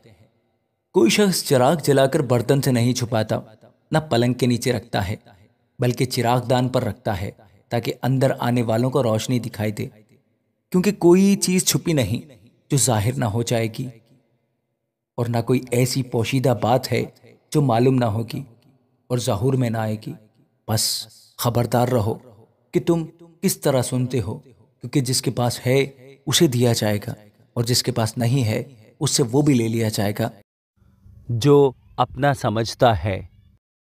फिर उसकी माँ और उसके भाई उसके पास आए, मगर भीड़ के सबब से उस तक पहुँच ना सके। और उसे खबर दी गई कि तेरी माँ और तेरे भाई बाहर खड़े हैं और तुझसे मिलना चाहते हैं। उसने जवाब में उनसे कहा, कि मेरी माँ और मेरे भाई तो ये हैं जो खुदा का कलाम सुनते और उस पर अमल करते हैं। फिर एक दिन ऐसा हुआ कि वो और उसके शागिर्द कश्ती में सवार हुए और उसने उनसे कहा, आओ झील के पार चलें। बस वह रवाना हुए। मगर जब कश्ती चली जाती थी तो वो सो गया और झील पर बड़ी आंधी आई और कश्ती पानी से भरी जाती थी और वो खतरा में थे। उन्होंने पास आकर उसे जगाया और कहा कि, साहिब साहिब, हम हलाक हुए जाते हैं। उसने उठकर हवा को और पानी के ज़ोर और शोर को झिड़का और दोनों थम गए और अमन हो गया। उसने उनसे कहा, तुम्हारा ईमान कहाँ गया? वो डर गए और तज्जुब करके आपस में कहने लगे, ये कौन है? ये तो हवा और पानी को हुक्म देता है और वो उसकी मानते हैं। फिर वो ग्रासीनियों के इलाके में जा पहुँचे, जो उस पार गलील के सामने है। जब वो किनारे पर उतरा तो उस शहर का एक मर्द उसे मिला, जिसमें बदरूहें थी और उसने बड़ी मुद्दत से कपड़े ना पहने थे और वो घर में नहीं बल्कि कब्रों में रहा करता था। वो यस्सु को देखकर चिल्लाया और उसके आगे गिरकर बुलंद आवाज़ से कहने लगा ए यस्सु खुदा ताला के बेटे, मुझे तुझसे क्या काम? तेरी मिन्नत करता हूँ कि मुझे अजाब में न डाल, क्योंकि वो उस नापाक रूह को हुक्म देता था कि इस आदमी में से निकल जा। इसलिए कि उसने उसको अक्सर पकड़ा था और हर चंद लोग उसे जंजीरों और बेड़ियों से जकड़कर काबू में रखते थे तो भी वो जंजीरों को तोड़ डालता था। और बदरूह उसको बियाबानों में भगाए फिरती थी। यस्सु ने उससे पूछा, तेरा क्या नाम है? उसने कहा, लश्कर, क्योंकि उसमें बहुत सी बदरूहें थीं। और वो उसकी मिन्नत करने लगी कि हमें अथा घड़े में जाने का हुक्म न दे। वहाँ पहाड़ पर सौरों का एक बड़ा गोल चल रहा था। उन्होंने उसकी मिन्नत की कि हमें उनके अंदर जाने दे। उसने उन्हें जाने दिया और बदरूहें उस आदमी में से निकलकर सूरों के अंदर गईं और गोल कराड़े पर से झपट कर झील में जा पड़ा। और डूब मरा। ये माजरा देखकर चराने वाले भागे और जाकर शहर और देहात में खबर दी। लोग उस माजरे को देखने को निकले और यस्सु के पास आकर उस आदमी को, जिसमें से बदरूहें निकली थीं, कपड़े पहने और होश में यस्सु के पाँव के पास बैठे पाया और डर गए। और देखने वालों ने उनको खबर दी कि जिसमें बदरूहें थीं, वो किस तरह अच्छा हुआ। और गरासीनियों के गिरदो नवाह के सब लोगों ने उसे दरख्वास्त की कि हमारे पास से चला जा।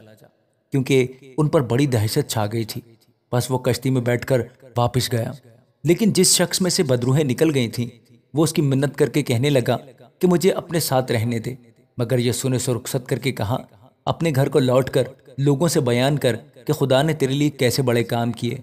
वह रवाना होकर तमाम शहर में चर्चा करने लगा कि यसु ने मेरे लिए कैसे बड़े काम किए। जब यसु वापस आ रहा था तो लोग उससे खुशी के साथ मिले। क्योंकि सब उसकी राह तकते थे। और देखो, यायर नाम एक शख्स जो इबादत खाना का सरदार था, आया और यसु के कदमों पर गिरकर उससे मिन्नत की कि मेरे घर चल, क्योंकि उसकी इकलौती बेटी, जो करीबन बारह बरस की थी, मरने को थी। और जब वो जा रहा था तो लोग उस पर गिरे पड़ते थे। और एक औरत ने, जिसके बारह बरस से खून जारी था और अपना सारा माल हकीमों पर खर्च कर चुकी थी और किसी के हाथ से अच्छी ना हो सकी थी, उसके पीछे आकर उसकी पोशाक का किनारा छुआ और उसी दम उसका खून बहना बंद हो गया। इस पर यसु ने कहा, वो कौन है जिसने मुझे छुआ? जब सब इनकार करने लगे तो पतरस और उसके साथियों ने कहा कि ए साहिब, लोग तुझे दबाते और तुझ पर गिरे पड़ते हैं। मगर यस्सु ने कहा कि किसी ने मुझे छुआ तो है, क्योंकि मैंने मालूम किया कि कुत मुझसे निकली है। जब उस औरत ने देखा कि मैं छुप नहीं सकती तो कांपती हुई आई और उसके आगे गिरकर सब लोगों के सामने बयान किया कि मैंने किस सबब से तुझे छुआ और किस तरह उसी दम शिफा पा गई? उसने उससे कहा, बेटी, तेरे ईमान ने तुझे अच्छा किया है, सलामत चली जा। वो कह ही रहा था कि इबादत खाना के सरदार के यहाँ से किसी ने आकर कहा कि तेरी बेटी मर गई, उस्ताद को तकलीफ़ ना दे। यस्सु ने सुनकर उसे जवाब दिया कि खौफ ना कर, फ़कत इत्तेकाद रख, वो बच जाएगी।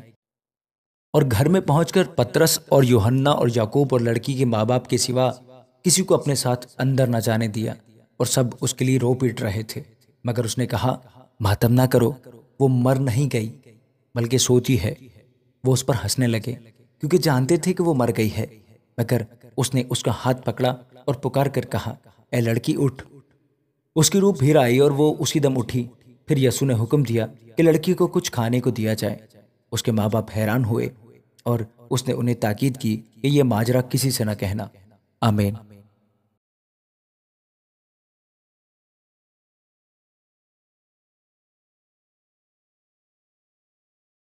दोस्तों खुदावंद का कलाम आप तक पहुँचा है।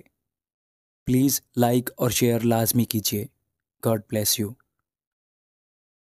लूका नवाबाब फिर उसने उन बारह को बुलाकर उन्हें सब बदरूहों पर इख्तियार बख्शा और बीमारियों को दूर करने की कुदरत दी और उन्हें खुदा की बादशाही की मुरादी करने और बीमारों को अच्छा करने के लिए भेजा और उनसे कहा कि राह के लिए कुछ ना लेना, ना लाठी, ना झोली, ना रोटी, न रुपया न दो दो कुर्ते रखना।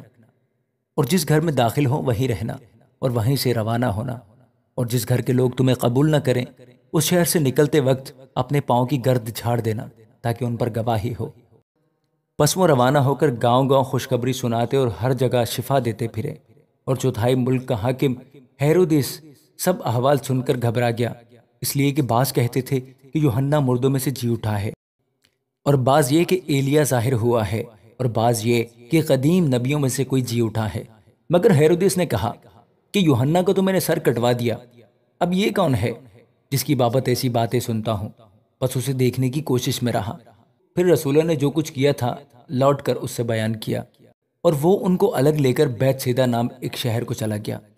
ये जानकर के भीड़ उसके पीछे गई और वो खुशी के साथ उनसे मिला और उनसे खुदा की बादशाही की बातें करने लगा और जो शिफा पाने के मोहताज थे, उन्हें शिफा बख्शी।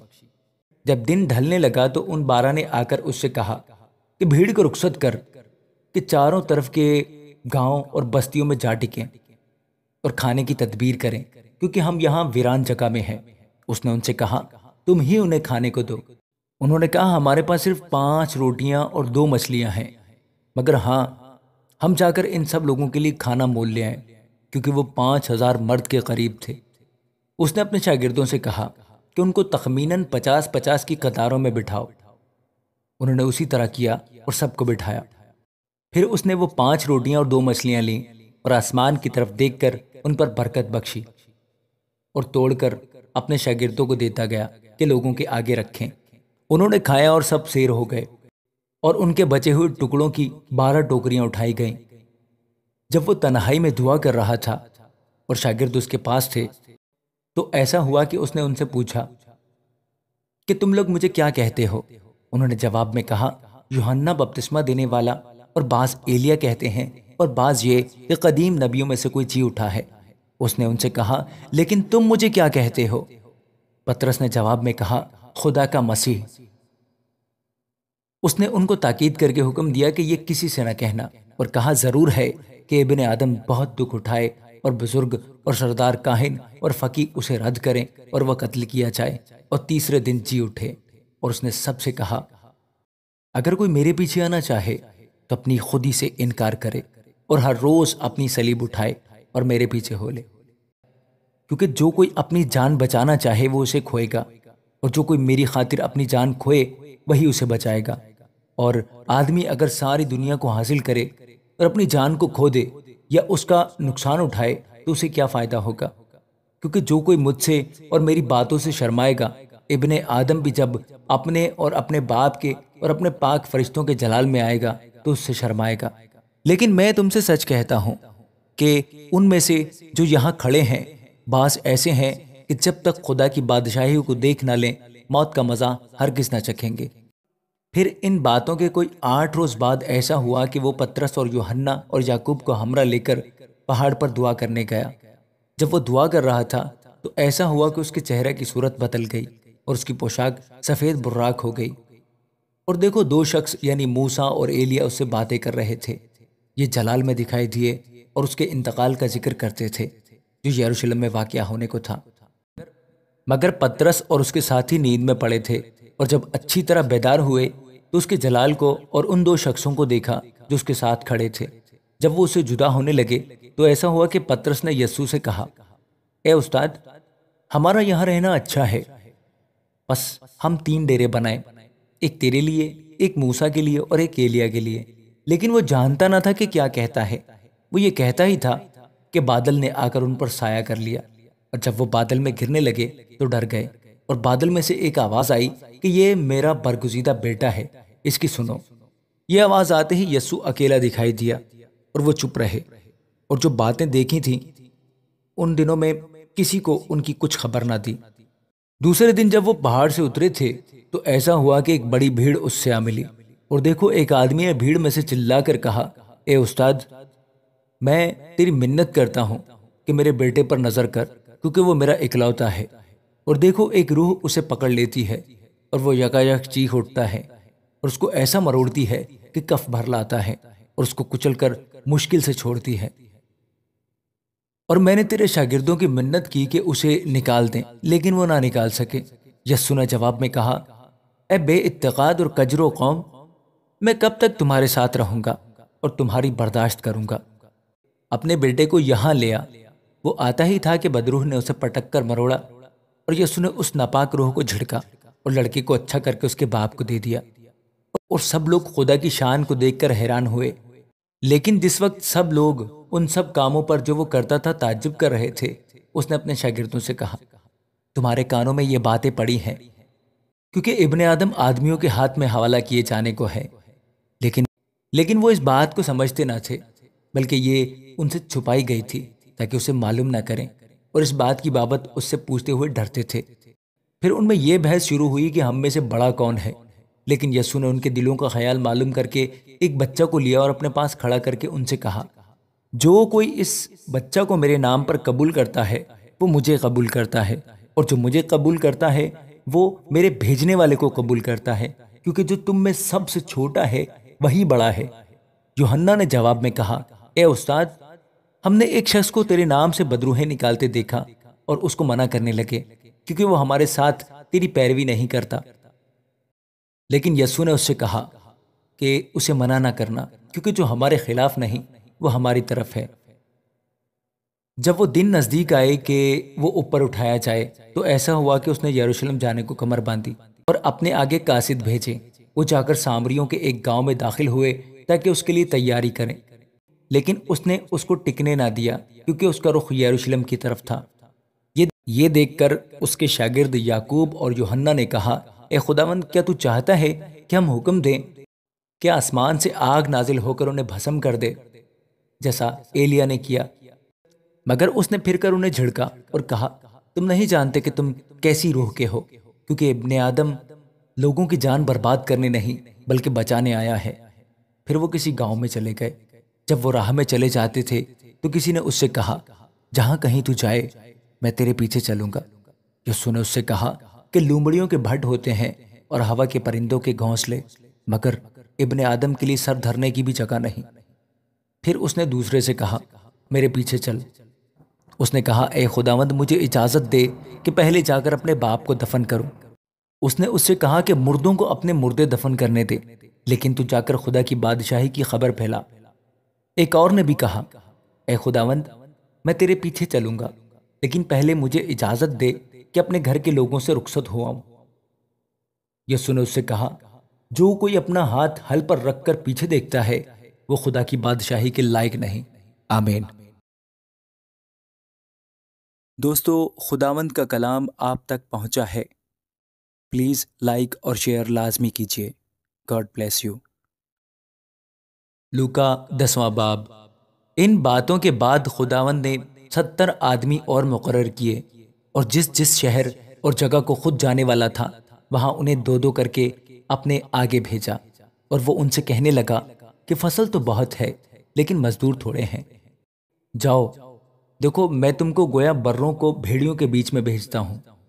न बटवा ले जाओ, न झोली, न जूतियाँ और न राह में किसी को सलाम करो। और जिस घर में दाखिल हो, पहले कहो किस घर की सलामती हो। अगर कोई सलामती का फर्जंद होगा तो तुम्हारा सलाम उस पर ठहरेगा, नहीं तो तुम पर लौट आएगा। उसी घर में रहो और जो कुछ उनसे मिले खाओ पियो, क्योंकि मजदूर अपनी मजदूरी का हकदार है। घर घर ना फिरो और जिस शहर में दाखिल हो, वहाँ के लोग तुम्हें कबूल करें तो जो कुछ तुम्हारे सामने रखा जाए, खाओ और वहाँ के बीमारों को अच्छा करो और उनसे कहो कि खुदा की बादशाही तुम्हारे नज़दीक आ पहुँची है। लेकिन जिस शहर में दाखिल हो और वहाँ के लोग तुम्हें कबूल ना करें तो उसके बाजारों में जाकर कहो कि हम इस गर्द को भी, जो तुम्हारे शहर से हमारे पाँव में लगी है, तुम्हारे सामने झाड़े देते हैं। मगर ये जान लो कि खुदा की बादशाही नज़दीक आ पहुँची है। मैं तुमसे कहता हूँ कि उस दिन सदूम का हाल उस शहर के हाल से ज़्यादा बर्दाश्त के लायक होगा। ए खराजीन, तुझ पर अफसोस। ए बैत सेदा तुझ पर अफसोस। क्योंकि जो मौज से तुम में ज़ाहिर हुए, अगर सोर और सैदा में ज़ाहिर होते तो वो टाट ओढ़कर और खाक में बैठकर कब के तौबा कर लेते। मगर अदालत में सोर और सैदा का हाल तुम्हारे हाल से ज़्यादा बर्दाश्त के लायक होगा। और ए कफर नहोम, क्या तू आसमान तक बुलंद किया जाएगा? नहीं, बल्कि तू आलम अरवाह में उतारा जाएगा। जो तुम्हारी सुनता है, वो मेरी सुनता है। और जो तुम्हें नहीं मानता, वो मुझे नहीं मानता। और जो मुझे नहीं मानता वो मेरे भेजने वाले को नहीं मानता। वो सत्तर खुश होकर फिर आए और कहने लगे, ए खुदावन, तेरे नाम से बदरूहें भी हमारे ताबे हैं। उसने उनसे कहा, मैं शैतान को बिजली की तरह आसमान से गिरा हुआ देख रहा हूँ। देखो, मैंने तुमको इख्तियार दिया कि सांपों और बिच्छुओं को कुचलो और दुश्मन की सारी कुदरत पर गालिब आओ और तुमको हरगिज किसी चीज़ से ज़र्र ना पहुँचे। तो भी इससे खुश ना हो कि रूहें तुम्हारे ताबे हैं। बल्कि इससे खुश हो कि तुम्हारे नाम आसमान पर लिखे हुए हैं।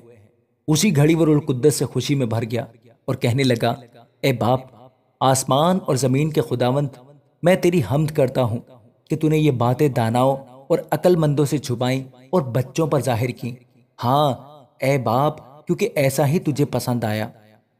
मेरे बाप की तरफ़ से सब कुछ मुझे सौंपा गया और कोई नहीं जानता कि बेटा कौन है, सिवा बाप के और कोई नहीं जानता कि बाप कौन है, सिवा बेटे के और उस शख्स के, जिस पर बेटा उसे ज़ाहिर करना चाहे। और शागिर्दों की तरफ़ मतवजे होकर खास उन्हीं से कहा, मुबारक हैं वो आँखें जो ये बातें देखती हैं, जिन्हें तुम देखते हो।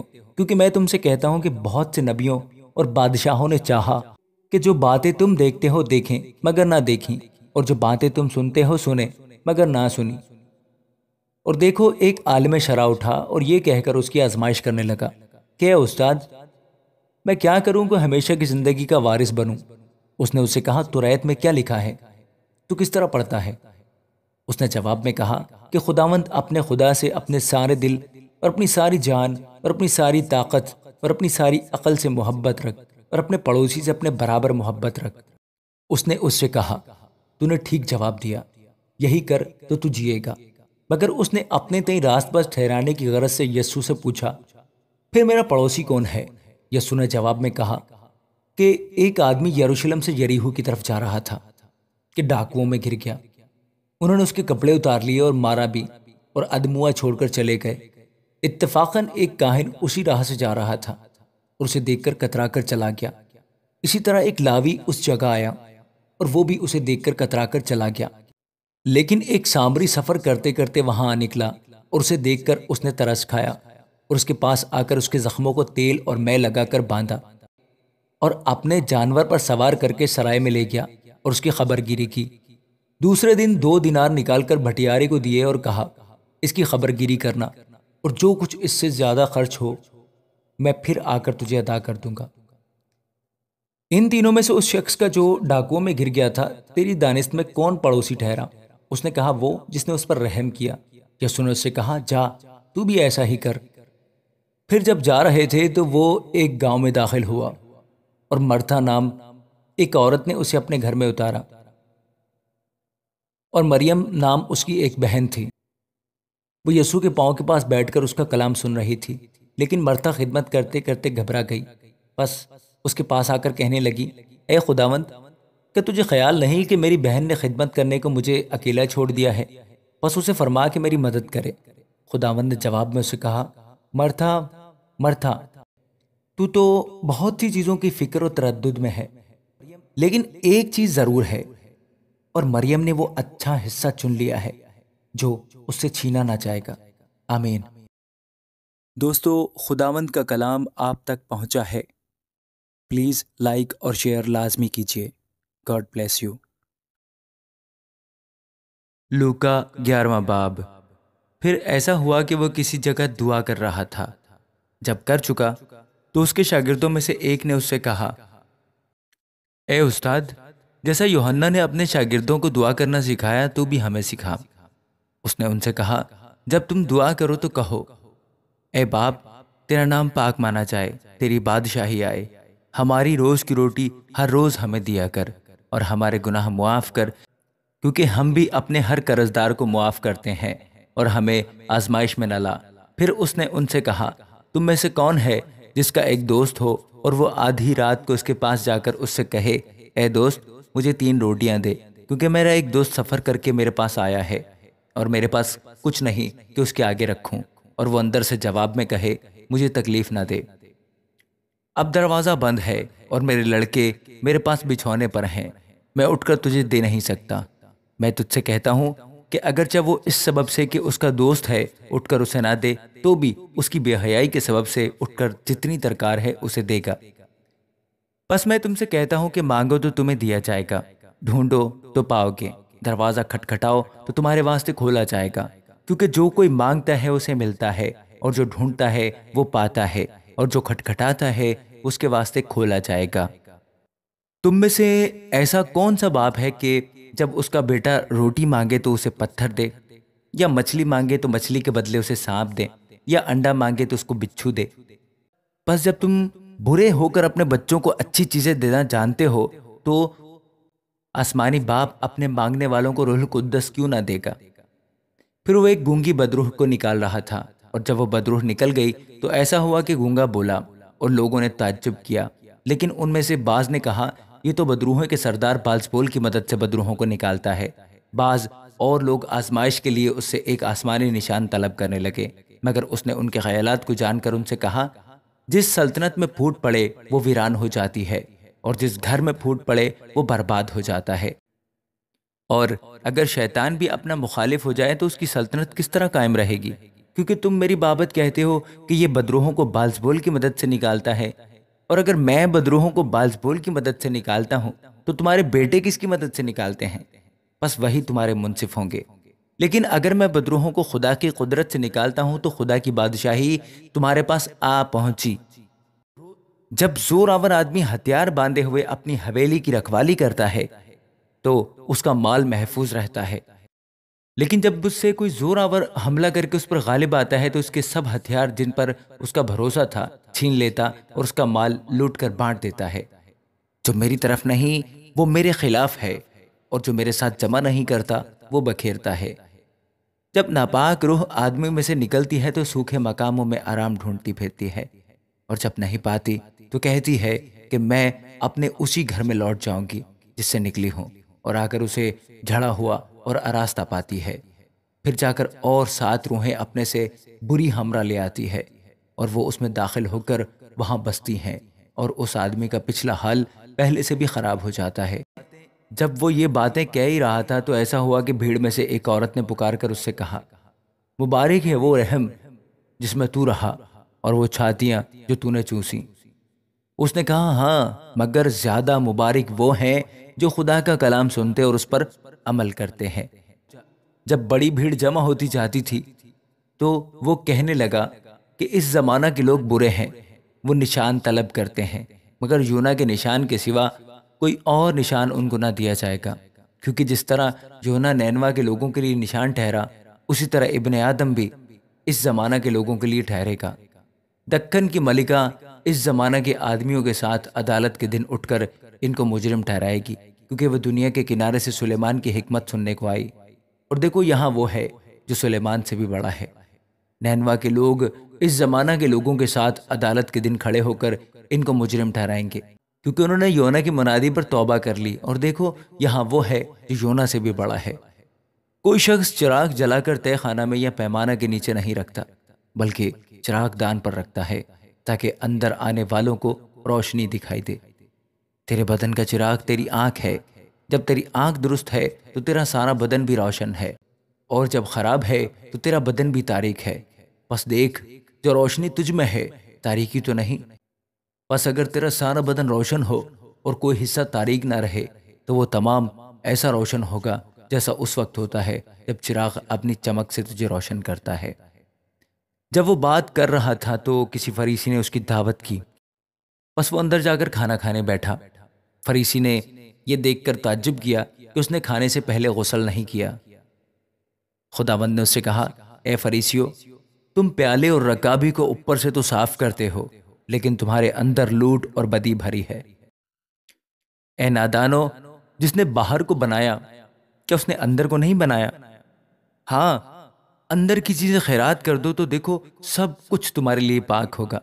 लेकिन ए फरीसियो, तुम पर अफसोस कि पुदीने और सोदाब और हर एक तरकारी पर दायकी देते हो और इंसाफ और खुदा की मोहब्बत से गाफिल रहते हो। लाजिम था कि ये भी करते और वो भी ना छोड़ते। ए फरीसियो, तुम पर अफसोस कि तुम इबादत खानों में आला दर्जा की कुर्सियाँ और बाजारों में सलाम चाहते हो। तुम पर अफसोस क्योंकि तुम उन पोशीदा कब्रों की मानद हो, जिन पर आदमी चलते हैं। उनको इस बात की खबर नहीं। फिर शरा के आलिमों में से एक ने जवाब में उससे कहा ए उस्ताद इन बातों के कहने से तू हमें भी बेइज्जत करता है। उसने कहा ए शरा के आलिमों तुम पर भी अफसोस कि तुम ऐसे बोझ जिनको उठाना मुश्किल है आदमी ऊपर लादते हो। और आप एक उंगली भी उन बोझों को नहीं लगाते। तुम पर अफसोस कि तुम नबियों की कब्रों को बनाते हो। और तुम्हारे बाप दादा ने उनको कत्ल किया था। बस तुम गवाह हो और अपने बाप दादा के कामों को पसंद करते हो। क्योंकि उन्होंने तो उनको कत्ल किया था और तुम उनकी कब्रें बनाते हो। इसी तरह खुदा की हिकमत ने कहा है कि मैं नबियों और रसूलों को उनके पास भेजूँगी। वो उनमें से बाज को कत्ल करेंगे और बाज को सताएँगे, ताकि सब नबियों के खून की जो बनाए आलम से बहाया गया, इस जमाना के लोगों से बाज पुरुष की जाए। हाबिल के खून से लेकर उस जक्रिया के खून तक जो कुर्बान का और मकदिस के बीच में हलाक हुआ, मैं तुमसे सच कहता हूँ कि इसी जमाना के लोगों से सबकी बाज पुरुष की जाएगी। ऐशारा के आलिमो, तुम पर अफसोस कि तुमने मार्फत की कुंजी छीन ली। तुम आप भी दाखिल ना हुए और दाखिल होने वालों को भी रोका। जब वो वहाँ से निकला तो फ़की और फरीसी उसे बेतरा चिमटे और छेड़ने लगे, ताकि वो बहुत सी बातों का ज़िक्र करे और उसकी घात में रहे, ताकि उसके मुँह की कोई बात पकड़े। आमीन। दोस्तों खुदावंद का कलाम आप तक पहुँचा है। प्लीज़ लाइक और शेयर लाजमी कीजिए। God bless you. लुका बारवा बाब। इतने में जब हज़ारों आदमियों की भीड़ लग गई, यहाँ तक कि एक दूसरे पर गिरा पड़ता था तो उसने सबसे पहले अपने शागिर्दों से ये कहना शुरू किया कि उस खमीर से होशियार रहना जो फरीसियों की रयाकारी है, क्योंकि कोई चीज़ ढकी नहीं, जो खोली ना जाएगी। और ना कोई चीज़ छुपी है जो जानी ना जाएगी। इसलिए जो कुछ तुमने अंधेरे में कहा है, वो उजाले में सुना जाएगा। और जो कुछ तुमने कोठरियों के अंदर कान में कहा है, कोठों पर उसकी मुनादी की जाएगी। मगर तुम दोस्तों से मैं कहता हूँ कि उनसे ना डरो जो बदन को कत्ल करते हैं, और उसके बाद और कुछ नहीं कर सकते। लेकिन मैं तुम्हें जताता हूँ कि किससे डरना चाहिए? उससे डरो जिसको इख्तियार है कि कत्ल करने के बाद जहन्नुम में डाले। हाँ मैं तुमसे कहता हूँ कि उसी से डरो। क्या दो पैसे की पाँच चिड़ियाँ नहीं बिकती? तो भी खुदा के हजूर, उनमें से एक भी फरामोश नहीं होती, बल्कि तुम्हारे सर के सब बाल भी गिने हुए हैं। डरो मत। तुम्हारी कदर तो बहुत सी चिड़ियों से ज़्यादा है। और मैं तुमसे कहता हूँ कि जो कोई आदमियों के सामने मेरा इकरार करे, इबन आदम भी खुदा के फरिश्तों के सामने उसका इकरार करेगा। मगर जो आदमियों के सामने मेरा इनकार करे, खुदा के फरिश्तों के सामने उसका इनकार किया जाएगा। और जो कोई इबन आदम के खिलाफ कोई बात कहे, उसको मुआफ किया जाएगा। लेकिन जो रुल कुद्दस के हक में कुफर बके उसको मुआफ ना किया जाएगा। और जब वो तुमको इबादत खानों में और हाकिमों और इख्तियार वालों के पास ले जाएँ तो फ़िक्र ना करना कि हम किस तरह या क्या जवाब दें या क्या कहें। क्योंकि रोहल कुद्दस उसी घड़ी तुम्हें सिखा देगा कि क्या कहना चाहिए। फिर भीड़ में से एक ने उससे कहा, ए उस्ताद, मेरे भाई से कह के मिराज का मेरा हिस्सा मुझे दे। उसने उससे कहा, मियाँ, किसने मुझे तुम्हारा मुंसिफ या बांटने वाला मुकर किया है? और उसने उनसे कहा, खबरदार, अपने आप को हर तरह के लालच से बचाए रखो, क्योंकि किसी की ज़िंदगी उसके माल की कसरत पर मौकूफ़ नहीं। और उसने उनसे एक तमसील कही कि किसी दौलतमंद की ज़मीन में बड़ी फ़सल हुई। बस वो अपने दिल में सोचकर कहने लगा, मैं क्या करूँ? क्योंकि मेरे यहाँ जगह नहीं, जहाँ अपनी पैदावार भर रखूँ। उसने कहा, मैं यूँ करूँगा कि अपनी कोठियाँ ढाकर उनसे बड़ी बनाऊँगा और उनमें अपना सारा अनाज और माल भर रखूँगा। और अपनी जान से कहूँगा, ए जान, तेरे पास बहुत बरसों के लिए बहुत सा माल जमा है। चैन कर खा पी, खुश रहे। मगर खुदा ने उससे कहा ए नादान, इसी रात तेरी जान तुझसे तलब कर ली जाएगी। बस जो कुछ तूने तैयार किया है, वो किसका होगा? ऐसा ही वो शख्स है जो अपने लिए ख़जाना जमा करता है, और खुदा के नज़दीक दौलतमंद नहीं। फिर उसने अपने शागिर्दों से कहा, इसलिए मैं तुमसे कहता हूँ कि अपनी जान की फ़िक्र ना करो। कि हम क्या खाएँगे और ना अपने बदन की कि क्या पहनेंगे? क्योंकि जान खुराक से बढ़कर है और बदन पोशाक से। कव्वों पर गौर करो कि न बोते हैं, न काटते हैं, न उनके कत्ता होता है, न कोठी तो भी खुदा उन्हें खिलाता है। तुम्हारी कदर तो परिंदों से कहीं ज़्यादा है। तुम में ऐसा कौन है जो फ़िक्र करके अपनी उम्र में एक घड़ी बढ़ा सके? बस जब सबसे छोटी बात भी नहीं कर सकते तो बाकी चीज़ों की फ़िक्र क्यों करते हो? सोसन के दरख्तों पर गौर करो कि किस तरह बढ़ते हैं। वो ना मेहनत करते हैं न काटते हैं। तो भी मैं तुमसे कहता हूँ कि सुलेमान भी बावजूद अपनी सारी शान शौकत के उनमें से किसी की मानद मुलबिस न था। बस जब खुदा मैदान की घास को जो आज है और कल तनूर में झोंकी जाएगी ऐसी पोशाक पहनाता है तो एक कम इतगा दो तुमको क्यों ना पहनाएगा? और तुम इसकी तलाश में ना रहो कि क्या खाएँगे और क्या पिएँगे और ना शकी बनो। क्योंकि इन सब चीज़ों की तलाश में दुनिया की कौमें रहती हैं। लेकिन तुम्हारा बाप जानता है कि तुम इन चीज़ों के मोहताज हो। हाँ उसकी बादशाही की तलाश में रहो तो ये चीज़ें भी तुम्हें मिल जाएँगी। ए छोटे गल्ले, ना डर, क्योंकि तुम्हारे बाप को पसंद आया कि तुम्हें बादशाही दे। अपना माल असबाब बेचकर खैरात कर दो और अपने लिए ऐसे बटवे बनाओ जो पुराने नहीं होते। ऐसा खजाना जो खाली नहीं होता, जहाँ चोर नज़दीक नहीं जाता। और कीड़ा खराब नहीं करता। क्योंकि जहाँ तुम्हारा खजाना है, वहीं तुम्हारा दिल भी लगा रहेगा। तुम्हारी कमरे बंद ही रहें और तुम्हारे चिराग जलते रहें। और तुम उन आदमियों की मानद बनो जो अपने मालिक की राह देखते हो कि वो शादी में से कब लौटेगा, ताकि वो आकर दरवाज़ा खटखटाए तो फ़ौरन उसके वास्ते खोल दें। मुबारक हैं वो नौकर जिनका मालिक आकर उन्हें जागता पाए। मैं तुमसे सच कहता हूँ कि वो कमर बाँध कर उन्हें खाना खाने को बिठाएगा और पास आकर उनकी खिदमत करेगा। और अगर वो रात के दूसरे पहर में या तीसरे पहर में आकर उनको ऐसे हाल में पाए तो वो नौकर मुबारक हैं। लेकिन ये जान रखो कि अगर घर के मालिक को मालूम होता कि चोर किस घड़ी आएगा तो जागता रहता और अपने घर में नकब लगने ना देता। तुम भी तैयार रहो क्योंकि जिस घड़ी तुम्हें गुमान भी ना होगा, इब्ने आदम आ जाएगा। पत्रस ने कहा, ए खुदावंद, तू ये तमसील हमसे ही कहता है या सबसे खुदावंद ने कहा, कौन है वो दयानतदार और अक्लमंद दरोगा जिसका मालिक उसे अपने नौकर चाकरों पर मुकर करे कि हर एक की खुराक वक्त पर बांट दिया करे? मुबारक है वह नौकर, जिसका मालिक आकर उसको ऐसा ही करते पाए। मैं तुमसे सच कहता हूँ कि वो उसे अपने साथ माल पर मुख्तार कर देगा।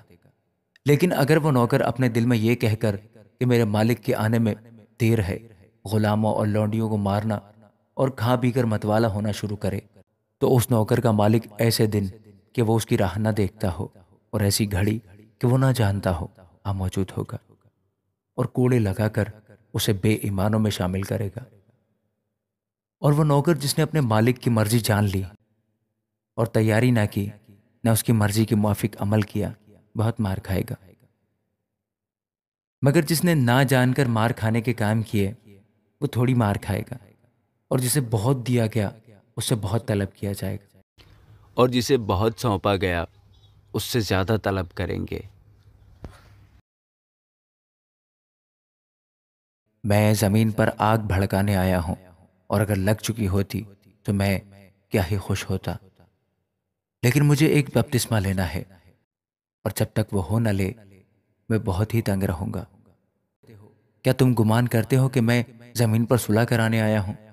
मैं तुमसे कहता हूँ कि नहीं, बल्कि जुदाई कराने। क्योंकि अब से एक घर के पाँच आदमी आपस में मुखालिफत रखेंगे। दो से तीन और तीन से दो, बाप बेटे से मुखालिफत रखेगा और बेटा बाप से, माँ बेटी से और बेटी माँ से, सास बहू से और बहू सास से। फिर उसने लोगों से भी कहा कि जब बादल को पश्चिम से उठते देखते हो तो कहते हो कि मी बरसेगा। और ऐसा ही होता है। और जब तुम मालूम करते हो कि दखना चल रही है तो कहते हो, लो चलेगी। और ऐसा ही होता है। ए रयाकारो, ज़मीन और आसमान की सूरत में तो इम्तियाज़ करना तुम्हें आता है, लेकिन इस ज़माना की बाबत इम्तियाज़ करना क्यों नहीं आता? और तुम अपने आप ही क्यों फैसला नहीं कर लेते कि वाजिब क्या है?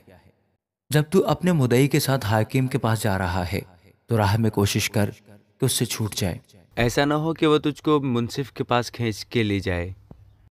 और मुनसिफ तुझको सिपाही के हवाला करे और सिपाही तुझे कैद में डाले। मैं तुझसे कहता हूँ कि जब तक तू दमड़ी दमड़ी अदा न कर देगा वहाँ से हरगिज ना छूटेगा। आमीन। दोस्तों खुदावंद का कलाम आप तक पहुँचा है। प्लीज़ लाइक और शेयर लाजमी कीजिए। God bless you. लूका तेरवा बाब। उस वक्त बाज लोग हाजिर थे, जिन्होंने उसे उन गलीलियों की खबर दी जिनका खून पिलातुस ने उनके जबीहों के साथ मिलाया था।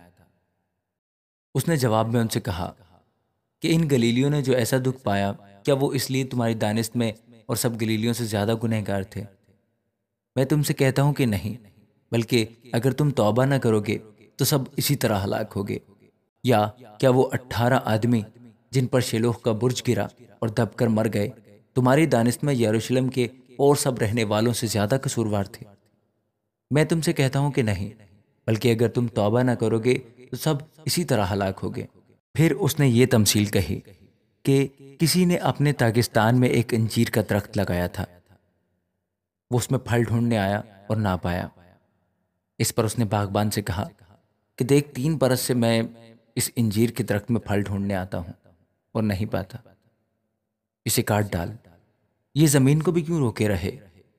उसने जवाब में उसे कहा, ए खुदावंद, इस साल तो और भी इसे रहने दे, ताकि मैं इसके गिर्द थाला खोदूं और खाद डालूं। अगर आगे को फला तो खैर, नहीं तो इसके बाद काट डालना। फिर वो सबद के दिन किसी इबादत खाना में तालीम देता था। और देखो, एक औरत थी, जिसको अट्ठारह बरस से किसी बदरूह के बायस कमज़ोरी थी। वो कुबड़ी हो गई थी और किसी तरह सीधी ना हो सकती थी। यस्सु ने उसे देखकर पास बुलाया और उससे कहा, ए औरत तो अपनी कमज़ोरी से छूट गई। और उसने उस पर हाथ रखे। उसी दम वो सीधी हो गई और खुदा की तमजीद करने लगी। इबादत खाना का सरदार इसलिए कि यसु ने सबत के दिन शिफा बख्शी, खफा होकर लोगों से कहने लगा, छह दिन है जिनमें काम करना चाहिए। बस उन्हीं में आकर शिफा पाओ, न कि सबत के दिन।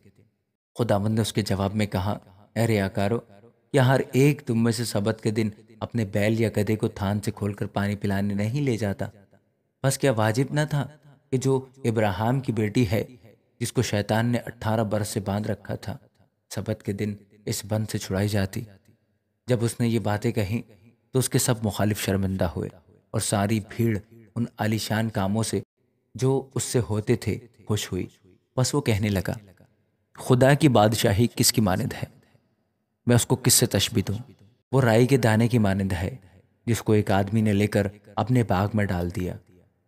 वो उगकर बड़ा दरख्त हो गया और हवा के परिंदों ने उसकी डालियों पर बसेरा किया। उसने फिर कहा, मैं खुदा की बादशाही को किससे तशबी दूँ? वो खमीर की मानद है, जिसे एक औरत ने लेकर तीन पैमाना आटे में मिलाया और होते होते सब खमीर हो गया। वो शहर शहर और गाँव गाँव तालीम देता हुआ यरूशलेम का सफ़र कर रहा था और किसी शख्स ने उससे पूछा कि, ए खुदावंद क्या निजात पाने वाले थोड़े हैं? उसने उनसे कहा जा फिशानी करो कि तंग दरवाजे से दाखिल हो, क्योंकि मैं तुमसे कहता हूँ कि बहुत तेरे दाखिल होने की कोशिश करेंगे और ना हो सकेंगे। जब घर का मालिक उठकर दरवाज़ा बंद कर चुका हो और तुम बाहर खड़े दरवाज़ा खटखटा कर ये कहना शुरू करो कि, ए खुदावंद हमारे लिए खोल दे और वह जवाब दे कि मैं तुमको नहीं जानता कि कहाँ के हो? उस वक्त तुम कहना शुरू करोगे कि हमने तो तेरे रूबरू खाया पिया और तूने हमारे बाजारों में तालीम दी। मगर वो कहेगा, मैं तुमसे कहता हूँ कि मैं नहीं जानता तुम कहाँ के हो। ए बदकारो, तुम सब मुझसे दूर हो। वहाँ रोना और दांत पीसना होगा। जब तुम इब्राहिम और इजहाक और याकूब और सब नबियों को खुदा की बादशाही में शामिल और अपने आप को बाहर निकाला हुआ देखोगे और पूरब, पश्चिम, उत्तर, दक्षिण से लोग आकर खुदा की बादशाही की जाफत में शरीक होंगे। और देखो, बाज आखिर ऐसे हैं जो अव्वल होंगे और बाज अव्वल हैं जो आखिर होंगे। उसी घड़ी बाज फरीसियों ने आकर उससे कहा कि निकल कर यहाँ से चल दे, क्योंकि हेरोदेस तुझे कत्ल करना चाहता है। उसने उनसे कहा कि जाकर उस लोमड़ी से कह दो कि देख, मैं आज और कल बदरूहों को निकालता और शिफा बख्शने का काम अंजाम देता रहूँगा। और तीसरे दिन कमाल को पहुंचूँगा। मगर मुझे आज और कल और परसों अपनी राह पर चलना ज़रूर है, क्योंकि मुमकिन नहीं कि नबी यरूशलेम से बाहर हलाक हो। ऐ यरूशलेम ऐ यरूशलेम, तू जो नबियों को कत्ल करती है और जो तेरे पास भेजे गए उनको संसार करती है, कितनी बार मैंने चाहा कि जिस तरह मुर्गी अपने बच्चों को परोतले जमा कर लेती है, उसी तरह मैं भी तेरे बच्चों को जमा कर लूँ मगर तुमने ना चाहा। देखो तुम्हारा घर तुम्हारे ही लिए छोड़ा जाता है और मैं तुमसे कहता हूँ कि मुझको उस वक्त तक हरगिज ना देखोगे जब तक ना कहोगे कि मुबारक है वो जो खुदावंत के नाम से आता है। आमीन। दोस्तों खुदावंत का कलाम आप तक पहुँचा है। प्लीज़ लाइक और शेयर लाजमी कीजिए। God bless you. लूका चौदह बाब। फिर ऐसा हुआ कि वो सबत के दिन फरीसियों के सरदारों में से किसी के घर खाना खाने को गया और वो उसकी ताक में रहे। और देखो, एक शख्स उसके सामने था जिसे जलंधर था। यसु ने शरा के आलिम और फरीसियों से कहा कि सबत के दिन शिफा देना रवा है या नहीं? वो चुप रह गए। उसने उसे हाथ लगाकर शिफा बख्शी और रुखसत किया और उसने उनसे कहा, तुम में से ऐसा कौन है जिसका गदा या बैल कुएँ में गिर पड़े? और वह सबत के दिन उसको फ़ौरन ना निकाले। वो इन बातों का जवाब न दे सके। जब उसने देखा कि मेहमान सदर जगह किस तरह पसंद करते हैं तो उसने एक तमसील कही कि जब कोई तुझे शादी पर बुलाए तो सदर जगह पर ना बैठ, कि शायद उसने किसी तुझसे भी ज़्यादा इज्जतदार को बुलाया हो, और जिसने तुझे और उसे दोनों को बुलाया है, आकर तुझसे कहे, इसको चका दे, फिर तुझे शर्मिंदा होकर सबसे नीचे बैठना पड़े। बल्कि जब तू बुलाया जाए तो सबसे नीची जगह जा बैठ, ताकि जब तेरा बुलाने वाला आए तो तुझसे कहे, ए दोस्त, आगे बढ़कर बैठ। तब उन सब की नज़र में, जो तेरे साथ खाना खाने बैठे हैं, तेरी इज़्ज़त होगी। क्योंकि जो कोई अपने आप को बड़ा बनाएगा, वो छोटा किया जाएगा, और जो अपने आप को छोटा बनाएगा, वो बड़ा किया जाएगा। फिर उसने अपने बुलाने वाले से भी ये कहा कि जब तू दिन का या रात का खाना तैयार करे तो अपने दोस्तों या भाइयों, या रिश्तेदारों, या दौलतमंद पड़ोसियों को ना बुला, ताकि ऐसा ना हो कि वो भी तुझे बुलाएँ और तेरा बदला पूरा हो जाए। बल्कि जब तू जियाफत करे तो गरीबों, लुंजों, लंगड़ों, अंधों को बुला और तुझ पर बरकत होगी। क्योंकि उनके पास तुझे बदला देने को कुछ नहीं और तुझे रात बाजों की कयामत में बदला मिलेगा। जो उसके साथ खाना खाने बैठे थे, उनमें से एक ने ये बातें सुनकर उससे कहा मुबारक है वो जो खुदा की बादशाही में खाना खाए। उसने उससे कहा, एक शख्स ने बड़ी जियाफत की और बहुत से लोगों को बुलाया और खाने के वक्त अपने नौकर को भेजा कि बुलाए हुए से कहे, आओ, अब खाना तैयार है। इस पर सबने मिलकर उजर करना शुरू किया। पहले ने उससे कहा, मैंने खेत खरीदा है, मुझे ज़रूर है कि जाकर उसे देखूँ। मैं तेरी मिन्नत करता हूँ कि मुझे माजूर रख।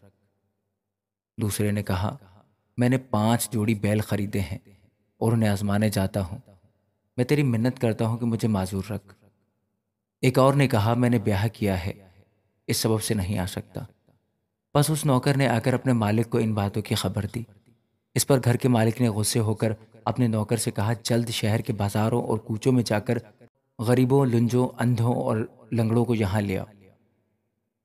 नौकर ने कहा, ए खुदावंद, जैसा तूने फरमाया था, वैसा ही हुआ। और अब भी जगह है।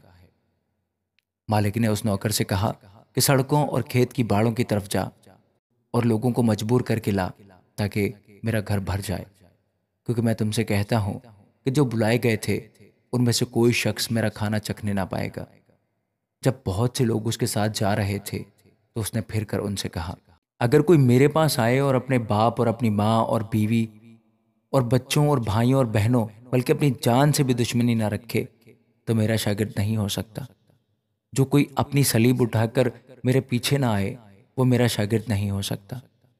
क्योंकि तुम में ऐसा कौन है कि जब वो एक बुर्ज बनाना चाहे तो पहले बैठकर लागत का हिसाब ना कर ले कि आया मेरे पास उसके तैयार करने का सामान है या नहीं। ऐसा ना हो कि जब न्यू डालकर तैयार ना कर सके तो सब देखने वाले ये कहकर उस पर हंसना शुरू करें कि शख्स ने इमारत शुरू तो की, मगर तकमील ना कर सका। या कौन ऐसा बादशाह है जो दूसरे बादशाह से लड़ने जाता हो और पहले बैठकर मशवरा न कर ले कि आया, मैं दस हज़ार से उसको मुकाबला कर सकता हूँ या नहीं? जो बीस हज़ार लेकर मुझ पर चढ़ा आता है। नहीं तो जब वो हनोज दूर ही है, एलसी बेच के शरायत सुलह की दरख्वास्त करेगा। बस इसी तरह तुम में से जो कोई अपना सब कुछ तर्क ना करे, वो मेरा शागिर्द नहीं हो सकता।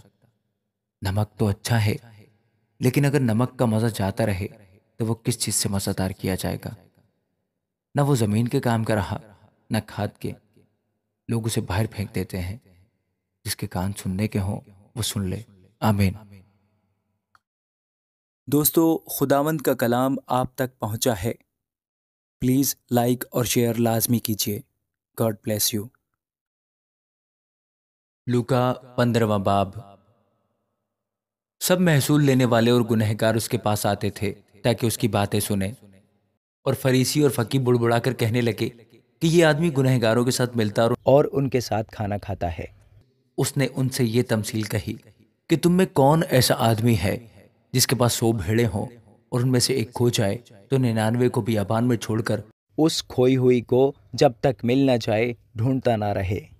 फिर जब मिल जाती है तो वो खुश होकर उसे कंधे पर उठा लेता है और घर पहुंचकर दोस्तों और पड़ोसियों को बुलाता और कहता है मेरे साथ खुशी करो, क्योंकि मेरी खोई हुई भेड़ मिल गई। मैं तुमसे कहता हूँ कि इसी तरह निन्यानवे रास्तबाजों की नस्बत, जो तौबा की हाजत नहीं रखते, एक तौबा करने वाले गुनहगार के बायस आसमान पर ज़्यादा खुशी होगी। या कौन ऐसी औरत है, जिसके पास दस दिरम हो और एक खो जाए तो वो चिराग जलाकर घर में झाड़ू ना दे, और जब तक मिल ना जाए, कोशिश से ढूंढती ना रहे। और जब मिल जाए तो अपनी दोस्तों और पड़ोसनों को बुलाकर ना कहे कि मेरे साथ खुशी करो। क्योंकि मेरा खोया हुआ धर्म मिल गया। मैं तुमसे कहता हूँ कि इसी तरह एक तौबा करने वाले गुनहगार के बायस खुदा के फरिश्तों के सामने खुशी होती है। फिर उसने कहा कि किसी शख्स के दो बेटे थे। उनमें से छोटे ने बाप से कहा, ए बाप, माल का जो हिस्सा मुझको पहुँचता है मुझे दे दे। उसने अपना माल मताओं ने बांट दिया और बहुत दिन ना गुजरे कि छोटा बेटा अपना सब कुछ जमा करके दूर दराज मुल्क को रवाना हुआ और वहाँ अपना माल बद चलनी में उड़ा दिया। और जब सब खर्च कर चुका तो उस मुल्क में सख्त काल पड़ा और वो मोहताज होने लगा। फिर उस मुल्क के एक बाशिंदे के यहाँ जा पड़ा। उसने उसको अपने खेतों में सूर चुराने भेजा और उसे आरज़ू थी कि जो फलियाँ सूर खाते थे, उन्हीं में से अपना पेट भरे, मगर कोई उसे ना देता था। फिर उसने होश में आकर कहा, मेरे बाप के बहुत से मजदूरों को अफराद से रोटी मिलती है और मैं यहाँ भूखा मर रहा हूँ। मैं उठकर अपने बाप के पास जाऊँगा और उससे कहूँगा ए बाप, मैं आसमान का और तेरी नज़र में गुनहगार हुआ। अब इस लायक नहीं रहा कि फिर तेरा बेटा कहलाऊं। मुझे अपने मजदूरों के जैसा कर ले। बस वो उठकर अपने बाप के पास चला। वो अभी दूर ही था कि उसे देखकर उसके बाप को तरस आया और दौड़कर उसको गले लगा लिया और चूमा। बेटे ने उससे कहा ए बाप, मैं आसमान का और तेरी नज़र में गुनहगार हूँ। अब इस लायक नहीं रहा। कि फिर तेरा बेटा कहलाऊं। बाप ने अपने नौकर से कहा, अच्छे से अच्छा लिबास जल्द निकाल कर उसे पहनाओ और उसके हाथ में अंगूठी और पाँव में जूती पहनाओ और पले हुए बछड़े लाकर जिबा करो ताकि हम खाकर खुशी मनाएँ। क्योंकि मेरा ये बेटा मुर्दा था, अब ज़िंदा हुआ, खो गया था, अब मिला है। बस वो खुशी मनाने लगे। लेकिन उसका बड़ा बेटा खेत में था। जब वो आकर घर के नज़दीक पहुँचा तो गाने बजाने और नाचने की आवाज़ सुनी और एक नौकर को बुलाकर दरियाफ्त करने लगा कि ये क्या हो रहा है। उसने उससे कहा, तेरा भाई आया है और तेरे बाप ने पला हुआ बछड़ा जिबा कराया है, क्योंकि उसे भला चंगा पाया। वो गुस्से हुआ और अंदर जाना ना चाहा, मगर उसका बाप बाहर जाकर उसे मनाने लगा। उसने अपने बाप से जवाब में कहा, देख, इतने बरसों से मैं तेरी खिदमत करता हूँ और कभी हुक्म अदूली नहीं की। मगर मुझे तूने कभी एक बकरी का बच्चा भी ना दिया कि अपने दोस्तों के साथ खुशी मनाता। लेकिन जब तेरा ये बेटा आया, जिसने तेरा माल मता कस्बियों में उड़ा दिया तो उसके लिए तूने पला हुआ बछड़ा जिबा कराया। उसने उससे कहा, बेटा, तू तो हमेशा मेरे पास है और जो कुछ मेरा है वो तेरा ही है। लेकिन खुशी मनाना और शादमान होना मुनासिब था, क्योंकि तेरा ये भाई मुर्दा था, अब ज़िंदा हुआ, खोया था, अब मिला है। आमीन। दोस्तों खुदावंद का कलाम आप तक पहुँचा है। प्लीज़ लाइक और शेयर लाजमी कीजिए। God bless you. लूका सोलवा बाब। फिर उसने शागिर्दों से भी कहा कि किसी दौलतमंद का एक मुख्तार था। उसकी लोगों ने उससे शिकायत की कि ये तेरा माल उड़ाता है। बस उसने उसको बुलाकर कहा कि ये क्या है जो मैं तेरे हक में सुनता हूँ? अपनी मुख्तारी का हिसाब दे क्योंकि आगे की तो मुख्तार नहीं रह सकता। उस मुख्तार ने अपने जी में कहा कि मैं क्या करूँ? क्योंकि मेरा मालिक मुझसे मुख्तारी छीने लेता है। भट्टी तो मुझसे खोदी नहीं जाती और भीख मांगने से मुझे शर्म आती है। मैं समझ गया कि क्या करूँ। ताकि जब मुख्तारी से मौकूफ हो जाऊँ तो लोग मुझे अपने घरों में जगह दें। बस उसने अपने मालिक के एक एक कर्जदार को बुलाकर पहले से पूछा कि तुम पर मेरे मालिक का क्या आता है? उसने कहा, तीन सौ मन तेल। उसने उससे कहा, अपनी दस्तावेज़ ले और जल्द बैठकर पचास लिख दे। फिर दूसरे से कहा, तुझ पर क्या आता है? उसने कहा, सौ मन गेहूँ। उसने उससे कहा, अपनी दस्तावेज़ लेकर अस्सी लिख दे। और मालिक ने बेईमान मुख्तार की तारीफ़ की, इसलिए कि उसने होशियारी की थी, क्योंकि इस जहान के फर्जंद अपने हम जिनसों के साथ मामलात में नूर के फर्जंदों से ज़्यादा होशियार हैं। और मैं तुमसे कहता हूँ कि नाराज़गी की दौलत से अपने लिए दोस्त पैदा करो, ताकि जब वो जाती रहे तो ये तुमको हमेशा के मस्कनों में जगह दे। जो थोड़े में दयानतदार है, वो बहुत में भी दयानतदार है, और जो थोड़े में बदयानत है, वो बहुत में भी बदयानत है। बस जब तुम नाराज़ दौलत में दयानतदार ना ठहरे तो हकीकी दौलत कौन तुम्हारे सपुर्द करेगा? और अगर तुम बेगाना माल में दयानतदार ना ठहरे तो जो तुम्हारा अपना है, उसे कौन तुम्हें देगा? कोई नौकर दो मालिकों की खिदमत नहीं कर सकता, क्योंकि या तो एक से अदावत रखेगा और दूसरे से मोहब्बत, या एक से मिला रहेगा और दूसरे को नाचीज जानेगा। तुम खुदा और दौलत दोनों की खिदमत नहीं कर सकते। फरीसी जो जर दोस्त थे, इन सब बातों को सुनकर उसे ठट्ठे में उड़ाने लगे। उसने उनसे कहा कि तुम वो हो कि आदमियों के सामने अपने आप को रास्त पास ठहराते हो। लेकिन खुदा तुम्हारे दिलों को जानता है, क्योंकि जो चीज़ आदमियों की नज़र में आली कदर है, वो खुदा की नज़र में मकरू है। शरीयत और अम्बिया यूहन्ना तक रहे। उस वक्त से खुदा की बादशाही की खुशखबरी दी जाती है और हर एक ज़ोर मारकर उसमें दाखिल होता है। लेकिन आसमान और ज़मीन का टल जाना शरीयत के एक नुक्ता के मिट जाने से आसान है। जो कोई अपनी बीवी को छोड़कर दूसरी से ब्याह करे, वो जिना करता है। और जो शख्स शोहर की छोड़ी हुई औरत से ब्याह करे, वो भी जिना करता है। एक दौलतमंद था, जो अरगवानी और महीन कपड़े पहनता और हर रोज खुशी मनाता और शान शौकत से रहता था। और लाजर नाम एक गरीब नासूरों से भरा हुआ उसके दरवाजे पर डाला गया था। उसे आरज़ू थी कि दौलतमंद की मेज से गिरे हुए टुकड़ों से अपना पेट भरे, बल्कि कुत्ते भी आकर उसके नासूर चाटते थे। और ऐसा हुआ कि वह गरीब मर गया और फरिश्तों ने उसे ले जाकर इब्राहिम की गोद में पहुँचा दिया और दौलतमंद भी मुआ और दफन हुआ। उसने आलम अरवाह के दरमियान अजाब में मुबतला होकर अपनी आँखें उठाईं और इब्राहिम को दूर से देखा और उसकी गोद में लाजर को और उसने पुकार कर कहा, ए बाप इब्राहिम, मुझ पर रहम करके लाजर को भेज कि अपनी उंगली का सिरा पानी में भिगोकर मेरी जबान को तर करे, क्योंकि मैं इस आग में तड़पता हूँ। इब्राहिम ने कहा, बेटा, याद कर कि तू अपनी ज़िंदगी में अपनी अच्छी चीज़ें ले चुका और उसी तरह लाजर बुरी चीज़ें। लेकिन अब वो यहाँ तसल्ली पाता है और तू तड़पता है और इन सब बातों के सिवा हमारे तुम्हारे दरमियान एक बड़ा घड़ा वाक्य है। ऐसा कि जो यहाँ तुम्हारी तरफ़ पार जाना चाहे, ना जा सके और ना कोई उधर से हमारी तरफ़ आ सके। उसने कहा, बस ए बाप, मैं तेरी मिन्नत करता हूँ कि तू उसे मेरे बाप के घर भेज, क्योंकि मेरे पाँच भाई हैं, ताकि वो उनके सामने इन बातों की गवाही दे। ऐसा ना हो कि वो भी इस अजाब की जगह में आए। इब्राहिम ने उससे कहा, उनके पास मूसा और अंबिया तो हैं।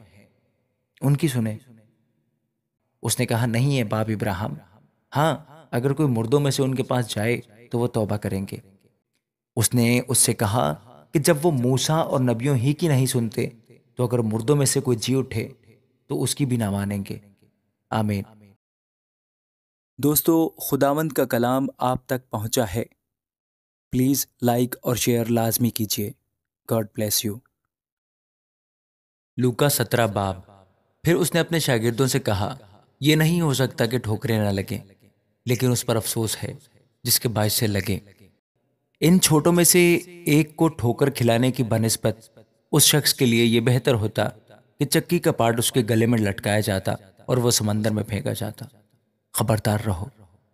अगर तेरा भाई गुनाह करे तो उसे मलामत कर। अगर तौबा करे तो उसे मुआफ कर। और अगर वो एक दिन में सात दफ़ा गुनाह करे और सातों दफ़ा तेरे पास आकर कहे कि तौबा करता हूँ तो उसे मुआफ कर। इस पर रसूलों ने खुदावंद से कहा, हमारे ईमान को बढ़ा।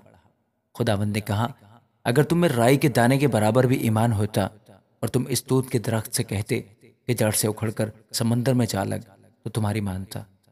मगर तुम में से ऐसा कौन है जिसका नौकर हल जोतता या गलाबानी करता हो और जब वो खेत से आए तो उससे कहे कि जल्द आकर खाना खाने बैठ और ये ना कहे कि मेरा खाना तैयार कर और जब तक मैं खाऊं पीऊं, कमर बाँध कर मेरी खिदमत कर। उसके बाद तू खुद खा पी लेना। क्या वो इसलिए उस नौकर का एहसान मानेगा कि कि उसने उन बातों की जिनका हुक्म हुआ तामील की? इसी तरह तुम भी जब उन सब बातों की जिनका तुम्हें हुक्म हुआ तामील कर चुको तो कहो कि हम निकम्मे नौकर हैं। जो हम पर फ़र्ज़ करना था वही किया है। और ऐसा हुआ कि यरूशलेम को जाते हुए वो सामरिया और गलील के बीच से होकर जा रहा था और एक गाँव में दाखिल होते वक्त दस कोड़ी उसको मिले। उन्होंने दूर खड़े होकर बुलंद आवाज़ से कहा ए यसु ए साहिब, हम पर रहम कर। उसने उन्हें देखकर कहा, जाओ, अपने तई काहिनों को दिखाओ। और ऐसा हुआ कि वो जाते जाते पाक साफ़ हो गए। फिर उनमें से एक ये देखकर कि मैं शिफा पा गया, बुलंद आवाज़ से खुदा की तमजीद करता हुआ लौटा और मुँह के बल यस्सु के बाहों पर गिरकर उसका शुक्र करने लगा और वो सामरी था। यस्सु ने जवाब में कहा, क्या दसों पाक साफ़ ना हुए? फिर वो नौ कहाँ हैं? क्या इस परदेसी के सिवा और ना निकले जो लौटकर खुदा की तमजीद करते? फिर उससे कहा, उठकर चला जा, तेरे ईमान ने तुझे अच्छा किया है। जब फरीसियों ने उससे पूछा कि खुदा की बादशाही कब आएगी तो उसने जवाब में उनसे कहा कि खुदा की बादशाही जाहिरी तौर पर ना आएगी।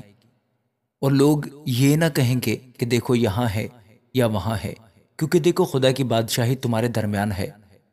उसने शागिर्दों से कहा वो दिन आएँगे कि तुमको इब्ने आदम के दिनों में से एक दिन को देखने की आरज़ू होगी और ना देखोगे। और लोग तुमसे कहेंगे कि देखो वहाँ है या देखो यहाँ है, मगर तुम चले ना जाना, ना उनके पीछे हो लेना।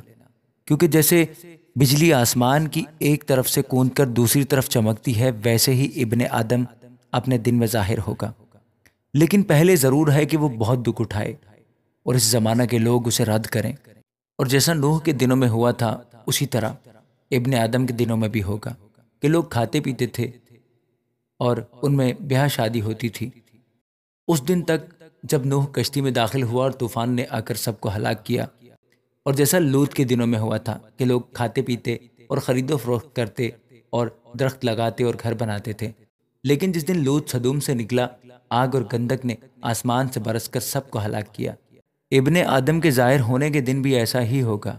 उस दिन जो कोठे पर हो और उसका असबाब घर में हो, वो उसे लेने को ना उतरे और इसी तरह जो खेत में हो, वो पीछे को ना लौटे। लूत की बीवी को याद रखो। जो कोई अपनी जान बचाने की कोशिश करेगा, वो उसे खोएगा और जो कोई उसे खोएगा, वो उसको ज़िंदा रखेगा। मैं तुमसे कहता हूँ कि उस रात दो आदमी एक चारपाई पर सोते होंगे। एक ले लिया जाएगा और दूसरा छोड़ दिया जाएगा। दो औरतें एक साथ चक्की पीसती होंगी। एक ले ली जाएगी और दूसरी छोड़ दी जाएगी। दो आदमी जो खेत में होंगे, एक ले लिया जाएगा, दूसरा छोड़ दिया जाएगा। उन्होंने जवाब में उससे कहा कि, ए खुदावंत, ये कहाँ होगा? उसने उनसे कहा, जहाँ मुर्दार है, वहाँ गिद्ध भी जमा होंगे। आमीन। दोस्तों, खुदावंत का कलाम आप तक पहुँचा है। प्लीज़ लाइक और शेयर लाजमी कीजिए। God bless you. लूका अठारवा बाब। फिर उसने इस अर्ज़ से कि हर वक्त दुआ करते रहना और हिम्मत ना हारना चाहिए, उनसे ये तमसील कही कि किसी शहर में काजी था, न वो खुदा से डरता, न आदमियों की कुछ परवाह करता था। और उसी शहर में एक बेवा थी, जो उसके पास आकर ये कहा करती थी कि मेरा इंसाफ करके मुझे मुतई से बचा। उसने कुछ अर्सा तक तो ना चाहा, लेकिन आखिरकार उसने अपने जी में कहा कि को मैं ना खुदा से डरता हूँ, ना आदमियों की कुछ परवाह करता हूँ। तो भी इसलिए कि ये बेवा मुझे सताती है, मैं इसका इंसाफ करूँगा। ऐसा ना हो कि ये बार बार आकर आखिर को मेरा नाक में दम करे। खुदावंद ने कहा, सुनो, ये बेइंसाफ काजी क्या कहता है? बस क्या खुदा अपने बरगजीदों का इंसाफ ना करेगा, जो रात दिन उससे फरियाद करते हैं? और क्या वो उनके बारे में देर करेगा? मैं तुमसे कहता हूँ कि वो जल्द उनका इंसाफ करेगा। तो भी जब इब्ने आदम आएगा तो क्या ज़मीन पर ईमान पाएगा? फिर उसने बाज लोगों से जो अपने पर भरोसा रखते थे कि हम रास्तबाज हैं और बाकी आदमियों का नाचीज जानते थे, ये तमसील कही कि दो शख्स हैकल में दुआ करने गए, एक फरीसी, दूसरा महसूल लेने वाला। फरीसी खड़ा होकर अपने जी में यूँ दुआ करने लगा कि, ए खुदा मैं तेरा शुक्र करता हूँ कि बाकी आदमी की तरह जालिम, बेइंसाफ, जिनाकार या इस महसूल लेने वाले की मानद नहीं हूँ। मैं हफ़्ता में दो बार रोज़ा रखता और अपनी सारी आमदनी पर दाया की देता हूँ। लेकिन महसूल लेने वाले ने दूर खड़े होकर इतना भी ना चाहा कि आसमान की तरफ़ आँख उठाए, बल्कि छाती पीट पीट कर कहा, ए खुदा, मुझ गुनहगार पर रहम कर। मैं तुमसे कहता हूँ कि ये शख्स दूसरे की नस्बत रास्तबाज ठहर कर अपने घर गया, क्योंकि जो कोई अपने आप को बड़ा बनाएगा, वो छोटा किया जाएगा, और जो अपने आप को छोटा बनाएगा, वो बड़ा किया जाएगा। फिर लोग अपने छोटे बच्चों को भी उसके पास लाने लगे, ताकि वो उनको छुए और शागिर्दों ने देखकर उनको झिड़का। मगर यसू ने बच्चों को अपने पास बुलाया और कहा कि, बच्चों को मेरे पास आने दो और उन्हें मना ना करो, क्योंकि खुदा की बादशाही ऐसो ही की है। मैं तुमसे सच कहता हूँ कि जो कोई खुदा की बादशाही को बच्चे की तरह कबूल ना करे, वो उसमें हरगिज दाखिल ना होगा। फिर किसी सरदार ने उससे ये सवाल किया कि, ए नेक उस्ताद, मैं क्या करूँ ताकि हमेशा की ज़िंदगी का वारिस बनूं? यसु ने उससे कहा तो मुझे क्यों नेक उस्ताद कहता है? कोई नेक नहीं, मगर एक, यानी खुदा।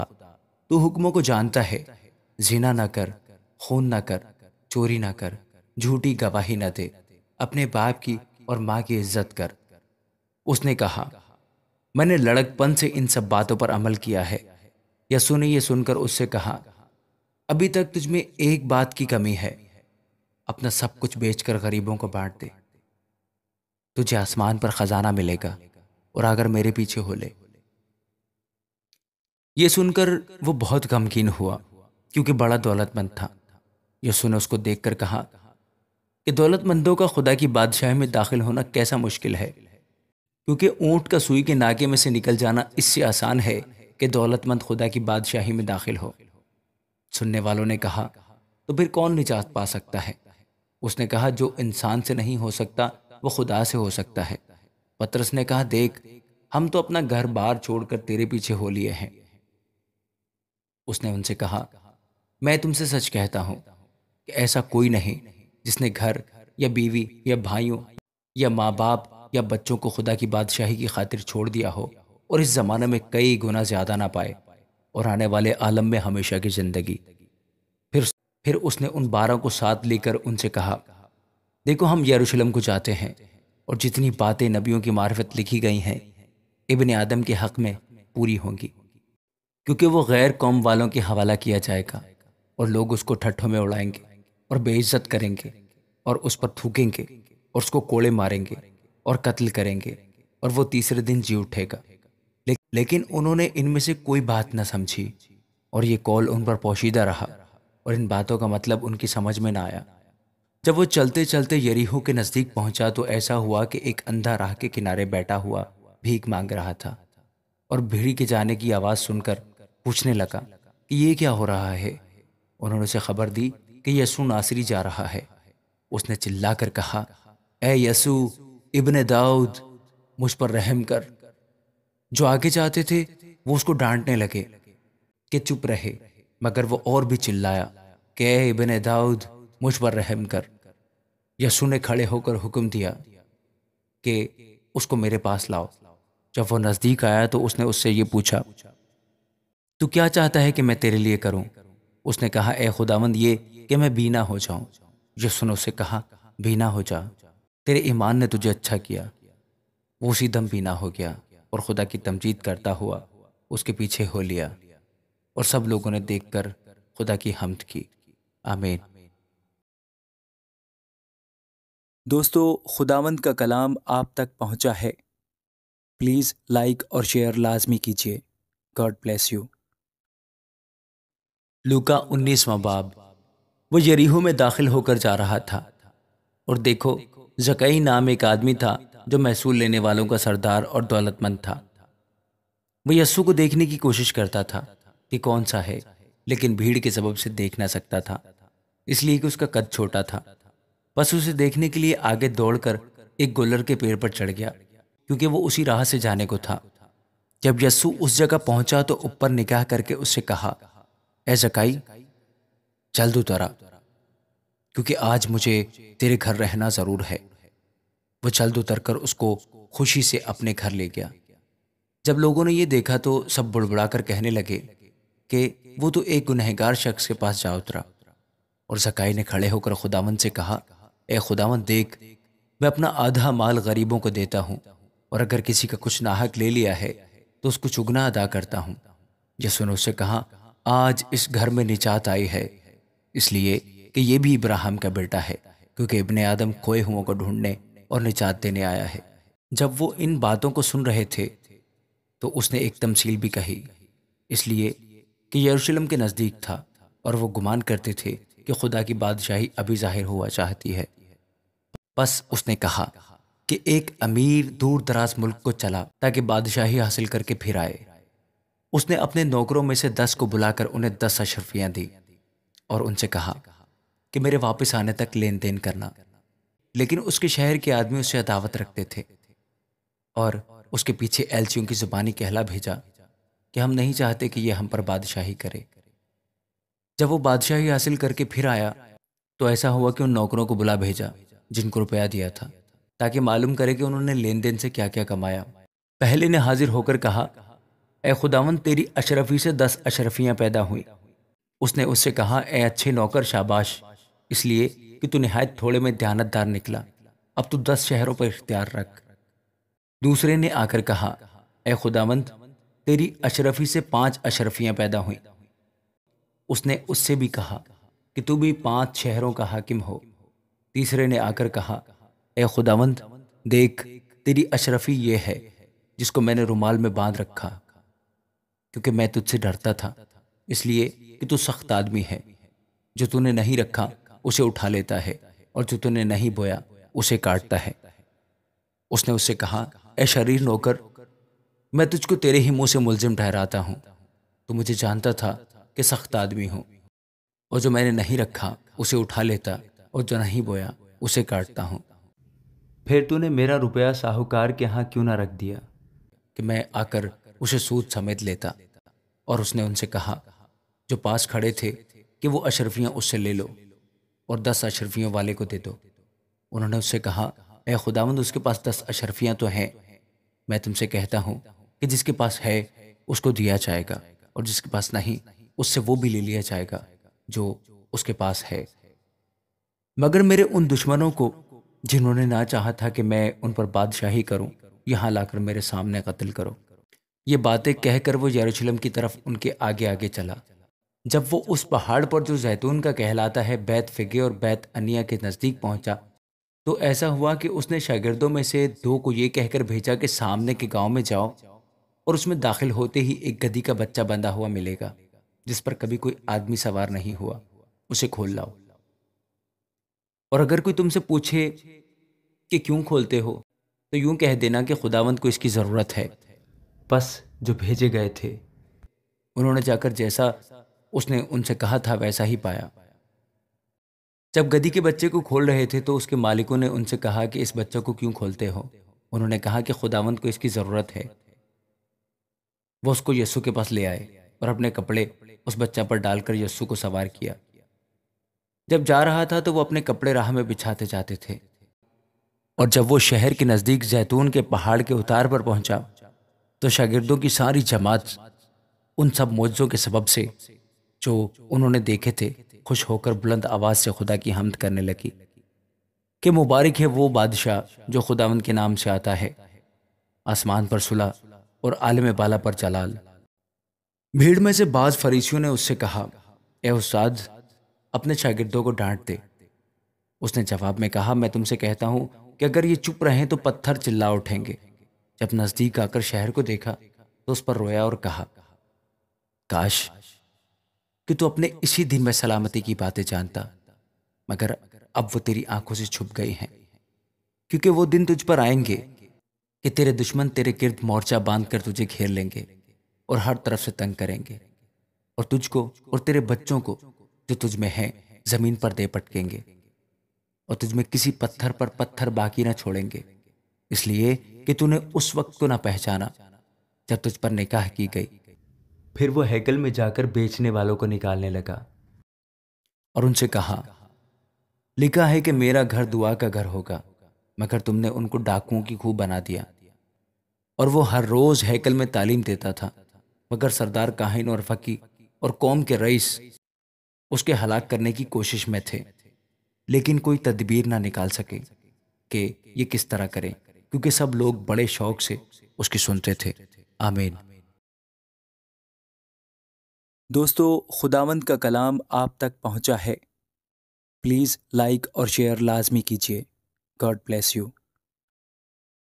योहन्ना बीसवा बाब।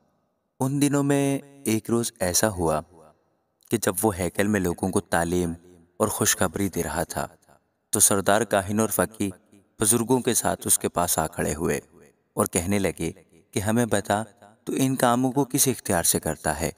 या कौन है जिसने तुझको ये इख्तियार दिया है। उसने जवाब में उनसे कहा कि मैं भी तुमसे एक बात पूछता हूँ। मुझे बताओ जोहन्ना का बपतिस्मा आसमान की तरफ़ से था या इंसान की तरफ़ से? उन्होंने आपस में कहा कि अगर हम कहें आसमान की तरफ़ से तो वो कहेगा, तुमने क्यों उसका यकीन ना किया? और अगर कहें कि इंसान की तरफ़ से तो सब लोग हमको संसार करेंगे, क्योंकि उन्हें यकीन है कि योहन्ना नबी था। बस उन्होंने जवाब दिया, हम नहीं जानते कि किसकी तरफ़ से था। यसु ने उनसे कहा, मैं भी तुम्हें नहीं बताता कि इन कामों को किस इख्तियार से करता हूँ। फिर उसने लोगों से ये तमसील कहनी शुरू की कि एक शख्स ने ताकिस्तान लगाकर बागबानों को ठेके पर दिया और एक बड़ी मुद्दत के लिए परदेश चला गया। और फल के मौसम पर उसने एक नौकर बागबानों के पास भेजा ताकि वो पाकिस्तान के फल का हिस्सा उसे दें लेकिन बागबानों ने उसे पीट कर खाली हाथ लौटा दिया। फिर उसने एक और नौकर को भेजा। उन्होंने उसको भी पीट कर और बेइज्जत करके खाली हाथ लौटा दिया। फिर उसने तीसरा भेजा। उन्होंने उसको भी जख्मी करके निकाल दिया। इस पर पाकिस्तान के मालिक ने कहा कि क्या करूँ? मैं अपने प्यारे बेटे को भेजूँगा। शायद उसका लिहाज करें। जब बागबानों ने उसे देखा तो आपस में सलाह करके कहा यही वारिस है। इसे कत्ल करेंगे कि मिरास हमारी हो जाए। बस उसको ताकिस्तान से बाहर निकालकर कत्ल किया। अब ताकिस्तान का मालिक उनके साथ क्या करेगा? वो आकर उन बागबानों को हलाक करेगा और ताकिस्तान औरों को दे देगा। उन्होंने ये सुनकर कहा खुदा ना करे। उसने उनकी तरफ़ देखकर कहा फिर ये क्या लिखा है कि जिस पत्थर को मेमार ने रद्द किया, वही कोने के सिरे का पत्थर हो गया। जो कोई उस पत्थर पर गिरेगा, उसके टुकड़े टुकड़े हो जाएँगे, लेकिन जिस पर वो गिरेगा, उसे पीस डालेगा। उसी घड़ी फकीर और सरदार काहिनों ने उसे पकड़ने की कोशिश की, मगर लोगों से डरे। क्योंकि वो समझ गए थे कि उसने ये तमसील हम पर कही, और वो उसकी ताक में लगे और जासूस भेजे। कि रास्तबाज बनकर उसकी कोई बात पकड़ें, ताकि उसको हाकिम के कब्जा और इख्तियार में दे दें। उन्होंने उससे ये सवाल किया, क्या ये उस्ताद, हम जानते हैं कि तेरा कलाम और तालीम दुरुस्त है और तू किसी की तरफदारी नहीं करता, बल्कि सच्चाई से खुदा की राह की तालीम देता है। हमें कैसर को खराज देना रवा है या नहीं? उसने उनकी मक्कारी मालूम करके उनसे कहा, एक दिनार मुझे दिखाओ, उस पर किसकी सूरत और नाम है? उसने कहा, कैसर का। उसने उनसे कहा, बस जो कैसर का है, कैसर को, और जो खुदा का है, खुदा को अदा करो। वो लोगों के सामने उस कॉल को पकड़ ना सके, बल्कि उसके जवाब में ताज्जुब करके चुप हो रहे। फिर सदूकी जो कहते हैं कि क़यामत नहीं होगी, उनमें से बाज ने उसके पास आकर यह सवाल किया कि, ए उस्ताद, मूसा ने हमारे लिए लिखा है कि अगर किसी का ब्याह हुआ, भाई बे औलाद मर जाए तो उसका भाई उसकी बीवी को कर ले और अपने भाई के लिए नस्ल पैदा करे। चुनाचे सात भाई थे। पहले ने बीवी की और बे औलाद मर गया। फिर दूसरे ने उसे लिया और तीसरे ने भी। इसी तरह सातों बे औलाद मर गए। आखिर को वो औरत भी मर गई। बस कयामत में वो औरत उनमें से किसकी बीवी होगी? क्योंकि वो सातों की बीवी बनी थी। यसु ने उनसे कहा कि इस जहान के फर्जंदों में तो ब्याह शादी होती है। लेकिन जो लोग इस लायक ठहरेंगे कि उस जहान को हासिल करें और मुर्दों में से जी उठें, उनमें ब्याह शादी ना होगी, क्योंकि वो फिर मरने के भी नहीं। इसलिए कि फरिश्तों के बराबर होंगे और क़यामत के फर्जंद होकर खुदा के भी फर्जंद होंगे। लेकिन इस बात को कि मुर्दे जी उठते हैं, मूसा ने भी झाड़ी के ज़िक्र में ज़ाहिर किया है। चुनाचे वो खुदावंत को इब्राहिम का खुदा और इजहाक का खुदा और याकूब का खुदा कहता है। लेकिन खुदा मुर्दों का खुदा नहीं बल्कि जिंदों का है क्योंकि उसके नज़दीक सब ज़िंदा हैं। तब बाज फ़कीयों ने जवाब में उससे कहा कि ए उस्ताद तूने खूब फरमाया क्योंकि उनको उससे फिर कोई सवाल करने की ज़रूरत ना हुई। फिर उसने उनसे कहा मसीह को किस तरह दाऊद का बेटा कहते हैं? दाऊद तो जबूर में आप कहता है कि खुदावंद ने मेरे खुदावंद से कहा मेरी दहनी तरफ़ बैठ, जब तक मैं तेरे दुश्मनों को तेरे पाँव तले की चौकी ना कर दूँ। बस दाऊद तो उसे खुदावंद कहता है, फिर उसका बेटा क्यों कर ठहरा? जब सब लोग सुन रहे थे तो उसने अपने शागिर्दों से कहा कि फकीयों से खबरदार रहना, जो लंबे लंबे जामे पहनकर फिरने का शौक रखते हैं और बाजारों में सलाम और इबादत खानों में आला दर्जा की कुर्सियाँ और जियाफतों में सदर नशीनी पसंद करते हैं। वो बेवाओं के घरों को दबा बैठते हैं। और दिखावे के लिए नमाज़ को तूल देते हैं। उन्हें ज़्यादा सजा होगी। आमीन। दोस्तों, खुदावंद का कलाम आप तक पहुँचा है। प्लीज़ लाइक और शेयर लाजमी कीजिए। God bless you. लूका इक्कीसवां बाब। फिर उसने आँख उठाकर उन दौलतमंदों को देखा जो अपनी नज़रों के रुपए हैकल के खजाना में डाल रहे थे। और एक कंगाल बेवा को भी उसमें दो दमड़ियाँ डालते देखा। इस पर उसने कहा, मैं तुमसे सच कहता हूँ कि इस कंगाल बेवा ने सबसे ज़्यादा डाला, क्योंकि उन सबने तो अपने माल की बहुतात से नज़र का चंदा डाला, मगर इसने अपनी नादारी की हालत में जितनी रोजी उसके पास थी सब डाल दी। और जब बाज लोग हैगल की बाबत कह रहे थे कि वो नफीस पत्थरों और नज़र की चीज़ों से आरास्ता है तो उसने कहा, वो दिन आएँगे कि इन चीज़ों में से जो तुम देखते हो यहाँ किसी पत्थर पर पत्थर बाकी ना रहेगा जो गिराया ना जाए। उन्होंने उससे पूछा कि ए उस्ताद फिर ये बातें कब होंगी? और जब वो होने को हो तो उस वक्त का क्या निशान होगा? उसने कहा खबरदार गुमराह ना होना क्योंकि बहुतेरे मेरे नाम से आएँगे और कहेंगे कि वो मैं ही हूँ और ये भी कि वक्त नज़दीक आ पहुँचा है। तुम उनके पीछे ना चले जाना और जब लड़ाइयों और लड़ाइयों की अफवाहें सुनो तो घबरा ना जाना, क्योंकि उनका पहले वाक्य होना ज़रूर है, लेकिन उस वक्त फ़ौरन खातिमा ना हो गया।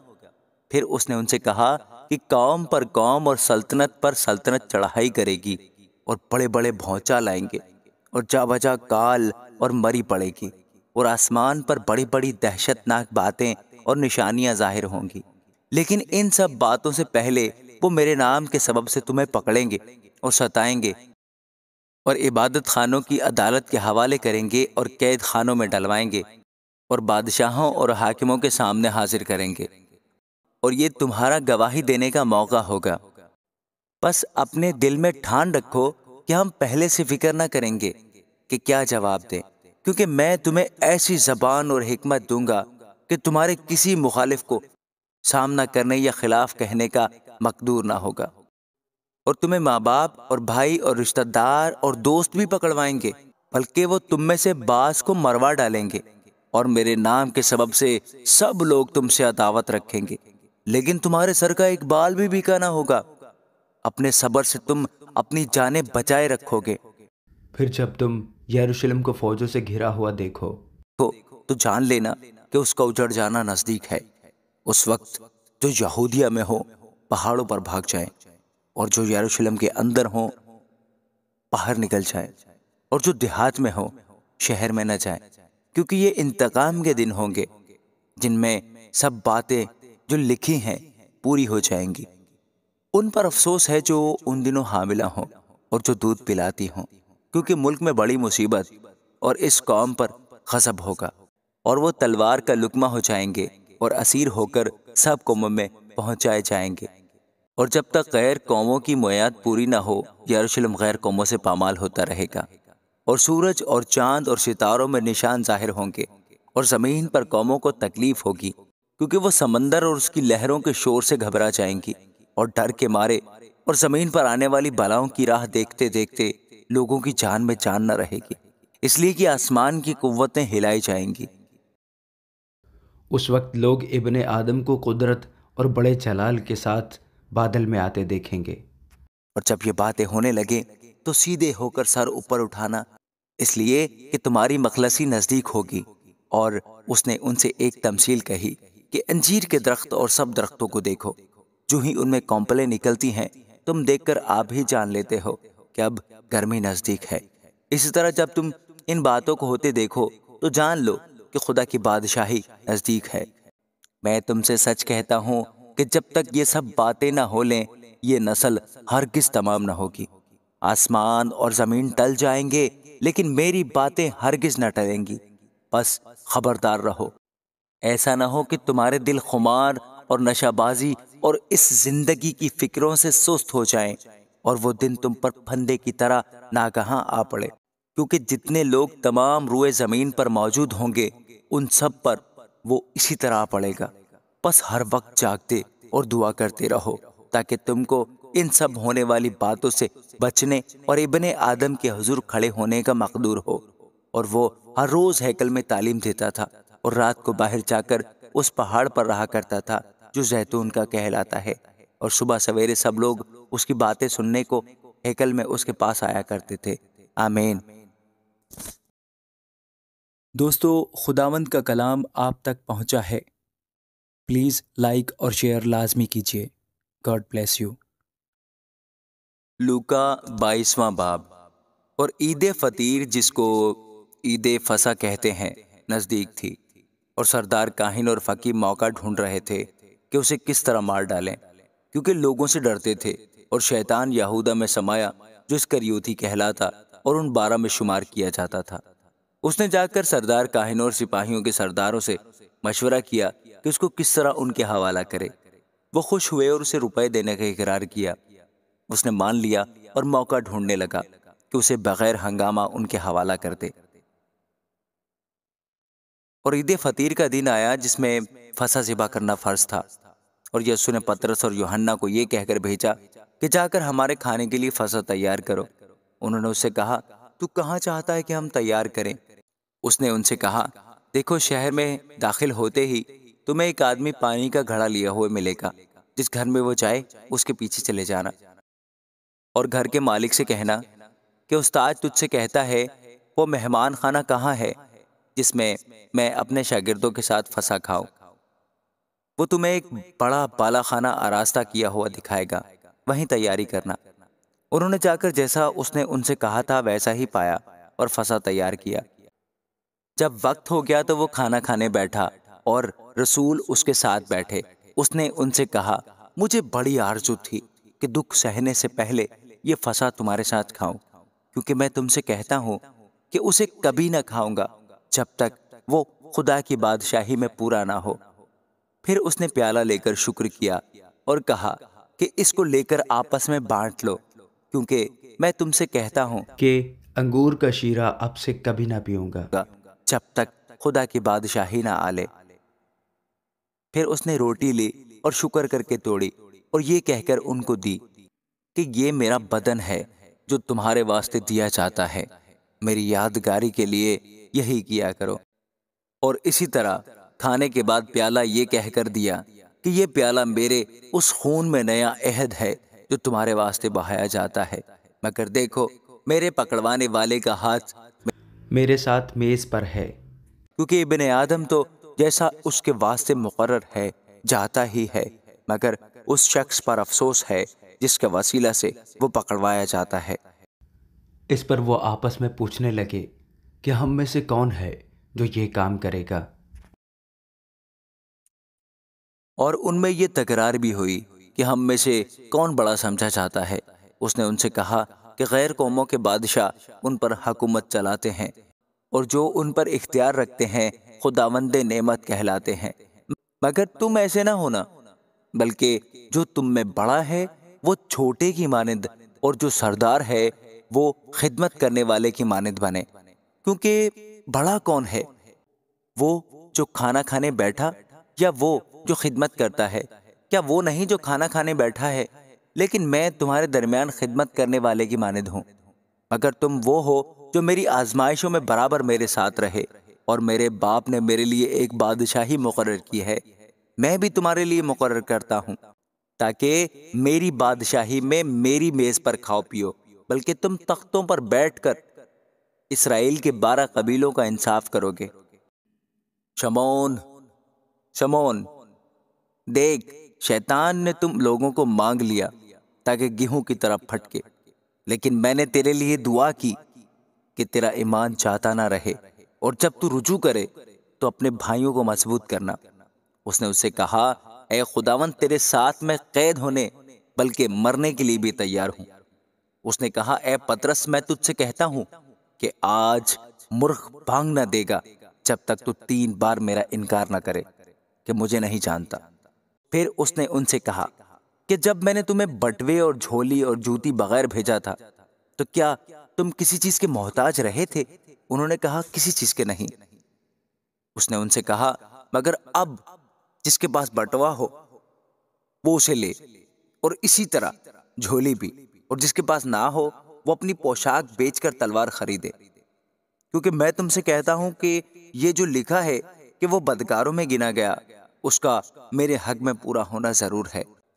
इसलिए कि जो कुछ मुझसे निस्बत रखता है, वो पूरा होना है। उन्होंने कहा ए खुदावन देख, यहाँ दो तलवारें हैं। उसने उनसे कहा, बहुत हैं। फिर वो निकलकर अपने दस्तूर के मुआफिक जैतून के पहाड़ को गया और शागिर्द उसके पीछे हो लिए। और उस जगह पहुंचकर उसने उनसे कहा, दुआ करो कि आजमाइश में ना पड़ो। और वो उनसे बामुश्किल अलग होकर कोई पत्थर का टप्पा आगे बढ़ा और घुटने टेक कर यूँ दुआ करने लगा कि, ए बाप, अगर तू चाहे तो ये प्याला मुझसे हटा ले। तो भी मेरी मर्ज़ी नहीं, बल्कि तेरी ही मर्ज़ी पूरी हो। और आसमान से एक फरिश्ता उसको दिखाई दिया और उसे तकवीत देता था। फिर वो सख्त परेशानी में मुबतला होकर और भी दिल सोची से दुआ करने लगा और उसका पसीना गोया। खून की बड़ी बड़ी बूंदें होकर ज़मीन पर टपकता था। जब दुआ से उठकर शागिर्दों के पास आया तो उन्हें गम के मारे सोते पाया और उनसे कहा, तुम सोते क्यों हो? उठकर दुआ करो ताकि आजमाइश में ना पड़ो। वो ये कह ही रहा था कि देखो एक भीड़ आई। उन बारह में से वो, जिसका नाम यहूदा था, उनके आगे आगे था। वो यस्सु के पास आया है कि उसका भूसा ले। यस्सु ने उससे कहा ए यहूदा, क्या तू तो भूसा लेकर इब्ने आदम को पकड़वाता है? जब उसके साथियों ने मालूम किया कि क्या होने वाला है तो कहा ए खुदावंद क्या हम तलवार चलाएँ? और उनमें से एक ने सरदार काहिन के नौकर पर चलाकर उसका दहना कान उड़ा दिया। यस्सु ने जवाब में कहा, इतने पर कफायत करो। और उसके कान को छूकर उसको अच्छा किया। फिर यस्सु ने सरदार काहिनों और हैकल के सरदारों और बुज़ुर्गों से जो उस पर चढ़ाए थे, कहा, क्या तुम मुझे डाकू जानकर तलवारें और लाठियाँ लेकर निकले हो? जब मैं हर रोज हैकल में तुम्हारे साथ था तो तुमने मुझ पर हाथ ना डाला। लेकिन ये तुम्हारी घड़ी और तारीकी का इख्तियार है। फिर वो उसे पकड़ कर ले चले और सरदार काहिन के घर में ले गए और पत्रस फासले पर उसके पीछे पीछे जाता था।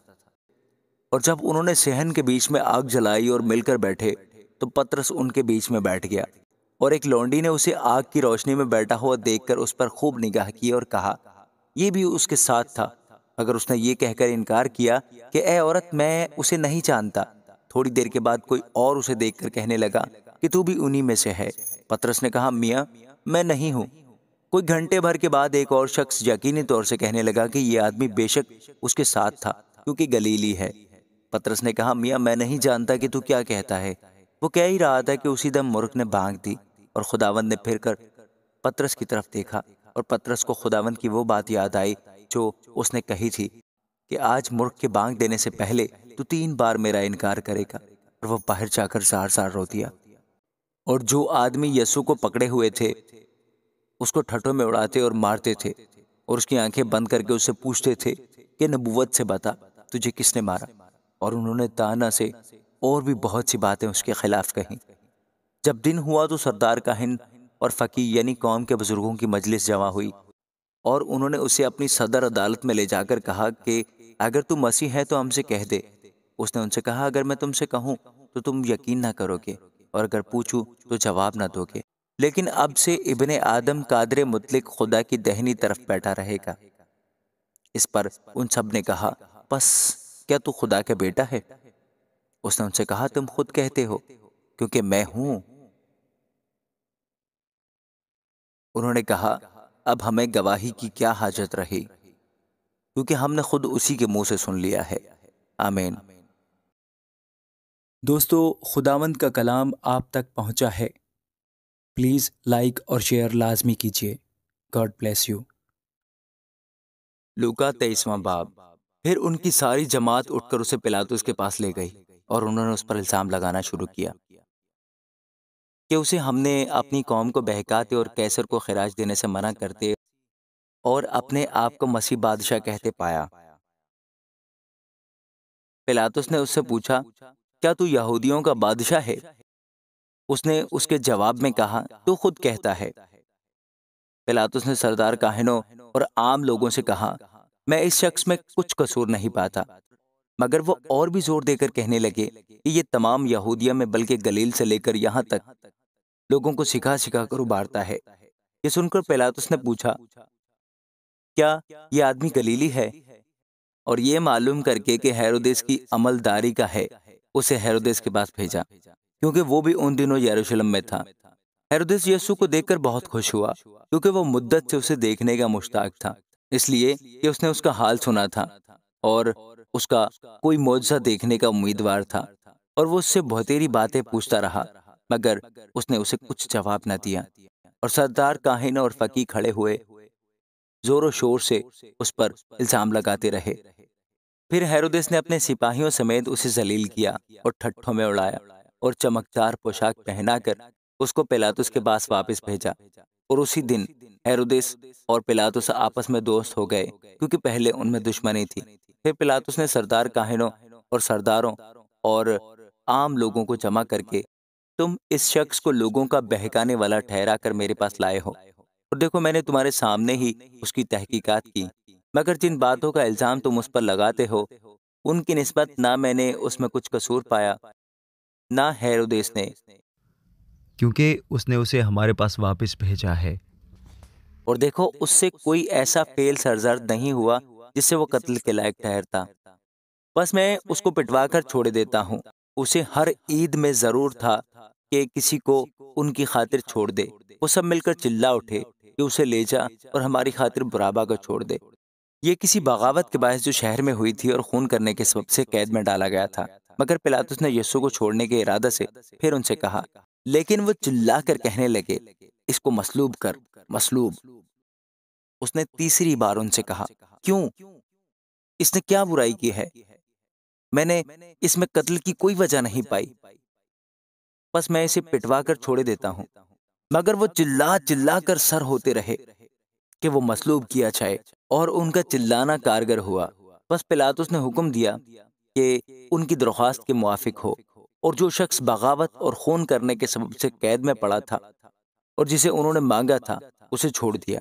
मगर यस्सु को उनकी मर्ज़ी के मुआफिक सिपाहियों के हवाला किया और जब उसको लिए जाते थे तो उन्होंने शमून नाम एक कुरीनी को जो देहात से आता था, पकड़कर सलीब उस पर लादी कि यस्सु के पीछे पीछे चले और लोगों की एक बड़ी भीड़ और बहुत सी औरतें जो उसके वास्ते रोटी पीटती थी, उसके पीछे पीछे चली। यस्सु ने उनकी तरफ़ फिर कर कहा यरूशलेम की बेटियों, मेरे लिए ना रो, बल्कि अपने और अपने बच्चों के लिए रो, क्योंकि देखो वो दिन आते हैं जिनमें कहेंगे, मुबारक हैं वो बांझे और वो रहम जो बार बार ना हुए और वो छातियाँ जिन्होंने दूध ना पिलाया। उस वक्त वो पहाड़ों से कहना शुरू करेंगे कि हम पर गिर पड़ो और टीलों से कि हमें छुपा लो, क्योंकि जब हरे दरख्त के साथ ऐसा करते हैं तो सूखे के साथ क्या कुछ ना किया जाएगा। और वो दो और आदमियों को भी जो बदकार थे, लिए जाते थे कि उसके साथ कत्ल किए जाएँ। जब वो उस जगह पर पहुँचे जिसे खोपड़ी कहते हैं तो वहाँ उसे मसलूब किया और बदकारों को भी एक टहनी और दूसरे को बाएँ तरफ़। यसु ने कहा ए बाप, इनको मुआफ कर, क्योंकि ये नहीं जानते कि क्या करते हैं। और उन्होंने उसके कपड़ों के हिस्से किए और उन पर कुरा डाला और लोग खड़े देखते रहे और सरदार भी ठट्ठे मार मार कर कहते थे कि इसने औरों को बचाया। अगर यह खुदा का मसीह और उसका बरकसीदा है तो अपने आप को बचाए। सिपाहियों ने भी आकर और सिरका पेश करके उस पर ठट्ठा मारकर कहा कि अगर तू यहूदियों का बादशाह है तो अपने आप को बचा। और एक नविश्ता भी उसके ऊपर लगाया गया था कि ये यहूदियों का बादशाह है। फिर जो बदकार सलीब पर लटकाए गए थे, उनमें से एक उसे यूँ ताना देने लगा कि, क्या तू मसीह नहीं? तू अपने आप को और हमको बचा। मगर दूसरे ने उसे झड़क कर जवाब दिया कि, क्या तू खुदा से भी नहीं डरता? हालाँकि उसी सजा में गिरफ़्तार है और हमारी सजा तो वाजबी है, क्योंकि अपने कामों का बदला पा रहे हैं। लेकिन इसने कोई बेजा काम नहीं किया। फिर उसने कहा ए यसु जब तू अपनी बादशाही में आए तो मुझे याद करना। उसने उससे कहा मैं तुझसे सच कहता हूँ कि आज ही तू मेरे साथ फिरदौस में होगा। फिर दोपहर के करीब से तीसरे पहर तक तमाम मुल्क में अंधेरा छाया रहा और सूरज की रोशनी जाती रही और मकदिस का पर्दा बीच से फट गया। फिर यस्सु ने बड़ी आवाज़ से पुकार कर कहा ए बाप मैं अपनी रूह तेरे हाथों में सौंपता हूँ और ये कहकर दम दे दिया। ये माजरा देखकर सुबादार ने खुदा की तमजीद की और कहा, बेशक ये आदमी रास्त बाज था। और जितने लोग इस नज़ारा को आए थे, ये माजरा देखकर छाती पीटते हुए लौट गए। और उसके सब जान पहचान और वो औरतें जो गलील से उसके साथ आई थी, दूर खड़ी ये बातें देख रही थी।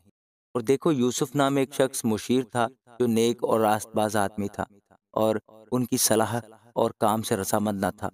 ये यहूदियों के शहर अरमतिया का बाशिंदा और खुदा की बादशाही का मुंतजर था। उसने पिलातुस के पास जाकर यस्सु की लाश मांगी और उसको उतार कर महीन चादर में लपेटा। फिर एक कब्र के अंदर रखा जो चट्टान पर खुदी हुई थी और उसमें कोई कभी रखा न गया था। वो तैयारी का दिन था और सबत का दिन शुरू होने को था और उन औरतों ने जो उसके साथ गलील से आई थी पीछे पीछे जाकर उस कब्र को देखा। और ये भी कि उसकी लाश किस तरह रखी गई और लौटकर खुशबूदार चीज़ें और इतर तैयार किया। आमीन, सुम आमीन। दोस्तों, खुदावंद का कलाम आप तक पहुँचा है। प्लीज़ लाइक और शेयर लाजमी कीजिए। God bless you. लू का बाब। सबत के दिन तो उन्होंने हुक्म के मुताबिक आराम किया, लेकिन हफ़्ता के पहले दिन वो सुबह सवेरे ही उन खुशबूदार चीज़ों को जो तैयार की थी लेकर कब्र पर आई और पत्थर को कब्र पर से लुढ़का हुआ पाया, मगर अंदर जाकर खुदावंद यस्सु की लाश ना पाई। और ऐसा हुआ कि जब वो इस बात से हैरान थी तो देखो, दो शख्स बुराक पोशाक पहने उनके पास आ खड़े हुए। जब वो डर गईं और अपने सर ज़मीन पर झुकाए तो उन्होंने उनसे कहा, कि ज़िंदा को मुर्दों में क्यों ढूंढती हो? वो यहाँ नहीं, बल्कि जी उठा है। याद करो कि जब वो गलील में था तो उसने तुमसे कहा था, ज़रूर है कि इबन आदम गुनहगारों के हाथ में हवाला किया जाए और मसलूब हो और तीसरे दिन जी उठे। उसकी बातें उन्हें याद आईं और कब्र से लौटकर उन्होंने उन ग्यारह और बाकी सब लोगों को इन सब बातों की खबर दी, जिन्होंने रसूलों से ये बातें कहीं और मरियम मगदलेनी और जोआना और जकूब की माँ मरियम और उनके साथ की बाकी औरतें थीं। मगर ये बातें उन्हें कहानी सी मालूम हुई और उन्होंने उनका यकीन न किया। इस पर पतरस उठकर कब्र तक दौड़ा गया और झुककर नज़र की और देखा कि सिर्फ़ कफन ही कफन है और इस माजरे से ताज्जुब करता हुआ अपने घर चला गया। और देखो, उसी दिन उनमें से दो आदमी उस गाँव की तरफ़ जा रहे थे, जिसका नाम अमाउस है। वो यरूशलेम से करीबन सात मील के फासले पर है और वो इन सब बातों की बाबत जो वाक़ हुई थी, आपस में बातचीत करते जाते थे। जब वो बातचीत और पूछपाछ कर रहे थे तो ऐसा हुआ कि यस्सु आप नज़दीक आकर उनके साथ हो लिया। लेकिन उनकी आँखें बंद की गई थीं कि उसको ना पहचाने। उसने उनसे कहा, ये क्या बातें हैं जो तुम चलते चलते आपस में करते हो? वो गमगीन से खड़े हो गए। फिर एक ने, जिसका नाम कलियोपास था, जवाब में उससे कहा क्या तू यरूशलेम में अकेला मुसाफिर है तो नहीं जानता? कि इन दिनों में क्या क्या हुआ है? उसने उनसे कहा क्या हुआ है? उन्होंने उससे कहा यसु नासरी का माजरा जो खुदा और सारी उम्मत के नज़दीक काम और कलाम में कुदरत वाला नबी था और सरदार काहिनों और हमारे हाकिमों ने उसको पकड़वा दिया ताकि उस पर कत्ल का हुक्म दिया जाए और उसे मसलूब किया। लेकिन हमको उम्मीद थी कि इसराइल को मुखलसी यही देगा। और अलावा इन सब बातों के इस माजरे को आज तीसरा दिन हो गया और हम में से चंद औरतों ने भी हमको हैरान कर दिया है, जो सवेरे ही कब्र पर गई थी और जब उसकी लाश ना पाई तो ये कहती हुई आई कि हमने रोया में फरिश्तों को भी देखा। उन्होंने कहा, वो ज़िंदा है। और बाज हमारे साथियों में से कब्र पर गए और जैसा औरतों ने कहा था, वैसा ही पाया। मगर उसको न देखा। उसने उनसे कहा, ए नादानो और नबियों की सब बातों के मानने में सुस्त इत्तेकादो। क्या मसीह को ये दुख उठाकर अपने जलाल में दाखिल होना ज़रूर न था? फिर मूसा से और सब नबियों से शुरू करके सब नविश्तों में जितनी बातें उसके हक में लिखी हुई हैं, वो उनको समझा दी। इतने में वो उस गाँव के नज़दीक पहुँच गए, जहाँ चाहते थे, और उसके ढंग से ऐसा मालूम हुआ कि वह आगे बढ़ना चाहते हैं। उन्होंने उसे ये कहकर मजबूर किया कि हमारे साथ रहे, क्योंकि शाम हुआ चाहती है, और दिन अब बहुत ढल गया। बस वो अंदर गया ताकि उनके साथ रहे। जब वो उनके साथ खाना खाने बैठा तो ऐसा हुआ कि उसने रोटी लेकर बरकत दी और तोड़कर उनको देने लगा। इस पर उनकी आँखें खुल गईं और उन्होंने उसको पहचान लिया और वो उनकी नज़र से गायब हो गया। उन्होंने आपस में कहा कि जब वो राह में हमसे बातें करता और हम पर नविश्तों का भेद खोलता था तो क्या हमारे दिल जोश से न भर गए थे?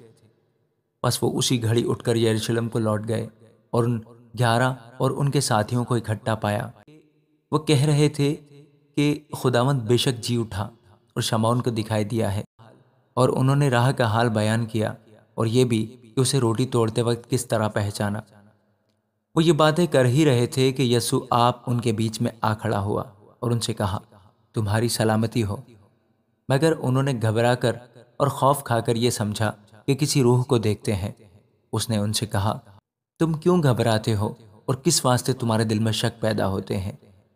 मेरे हाथ और मेरे पाँव देखो कि मैं ही हूँ। मुझे छू कर देखो, क्योंकि रूह की गोश्त और हड्डी नहीं होती जैसा मुझमें देखते हो। और ये कहकर उसने उन्हें अपने हाथ और पाँव दिखाए। जब मारे खुशी के उनको यकीन न आया और तज्जुब करते थे तो उसने उनसे कहा, क्या यहाँ तुम्हारे पास कुछ खाने को है? उन्होंने उसे भुनी हुई मछली का कतला दिया। उसने लेकर उनके रूबरू खाया। फिर उसने उनसे कहा, ये मेरी वो बातें हैं जो मैंने तुमसे उस वक्त कही थी, जब तुम्हारे साथ था, कि ज़रूर है कि जितनी बातें मूसा की तौरेत और नबियों के सहीफ़ों और ज़बूर में मेरी बाबत लिखी हैं, पूरी हों। फिर उसने उनका जहन खोला, ताकि किताब मुक़दस को समझे और उनसे कहा, यूँ लिखा है कि मसीह दुख उठाएगा और तीसरे दिन मुर्दों में से जी उठेगा और यरूशलेम से शुरू करके सब कौमों में तौबा और गुनाहों की माफ़ी की मुनादी उसके नाम से की जाएगी। तुम इन बातों के गवाह हो और देखो, जिसका मेरे बाप ने वादा किया है, मैं उसको तुम पर नाजिल करूँगा। लेकिन जब तक आलम बाला से तुमको कुत का लिबास ना मिले, इस शहर में ठहरे रहो। फिर वो उन्हें बैतनिया के सामने तक बाहर ले गया और अपने हाथ उठाकर उन्हें बरकत दी। जब वो उन्हें बरकत दे रहा था तो ऐसा हुआ कि उनसे जुदा हो गया और आसमान पर उठाया गया और वो उसको सजदा करके बड़ी खुशी से यरूशलेम को लौट गए और हर वक्त हैकल में हाजिर होकर खुदा की हमद किया करते थे। आमीन।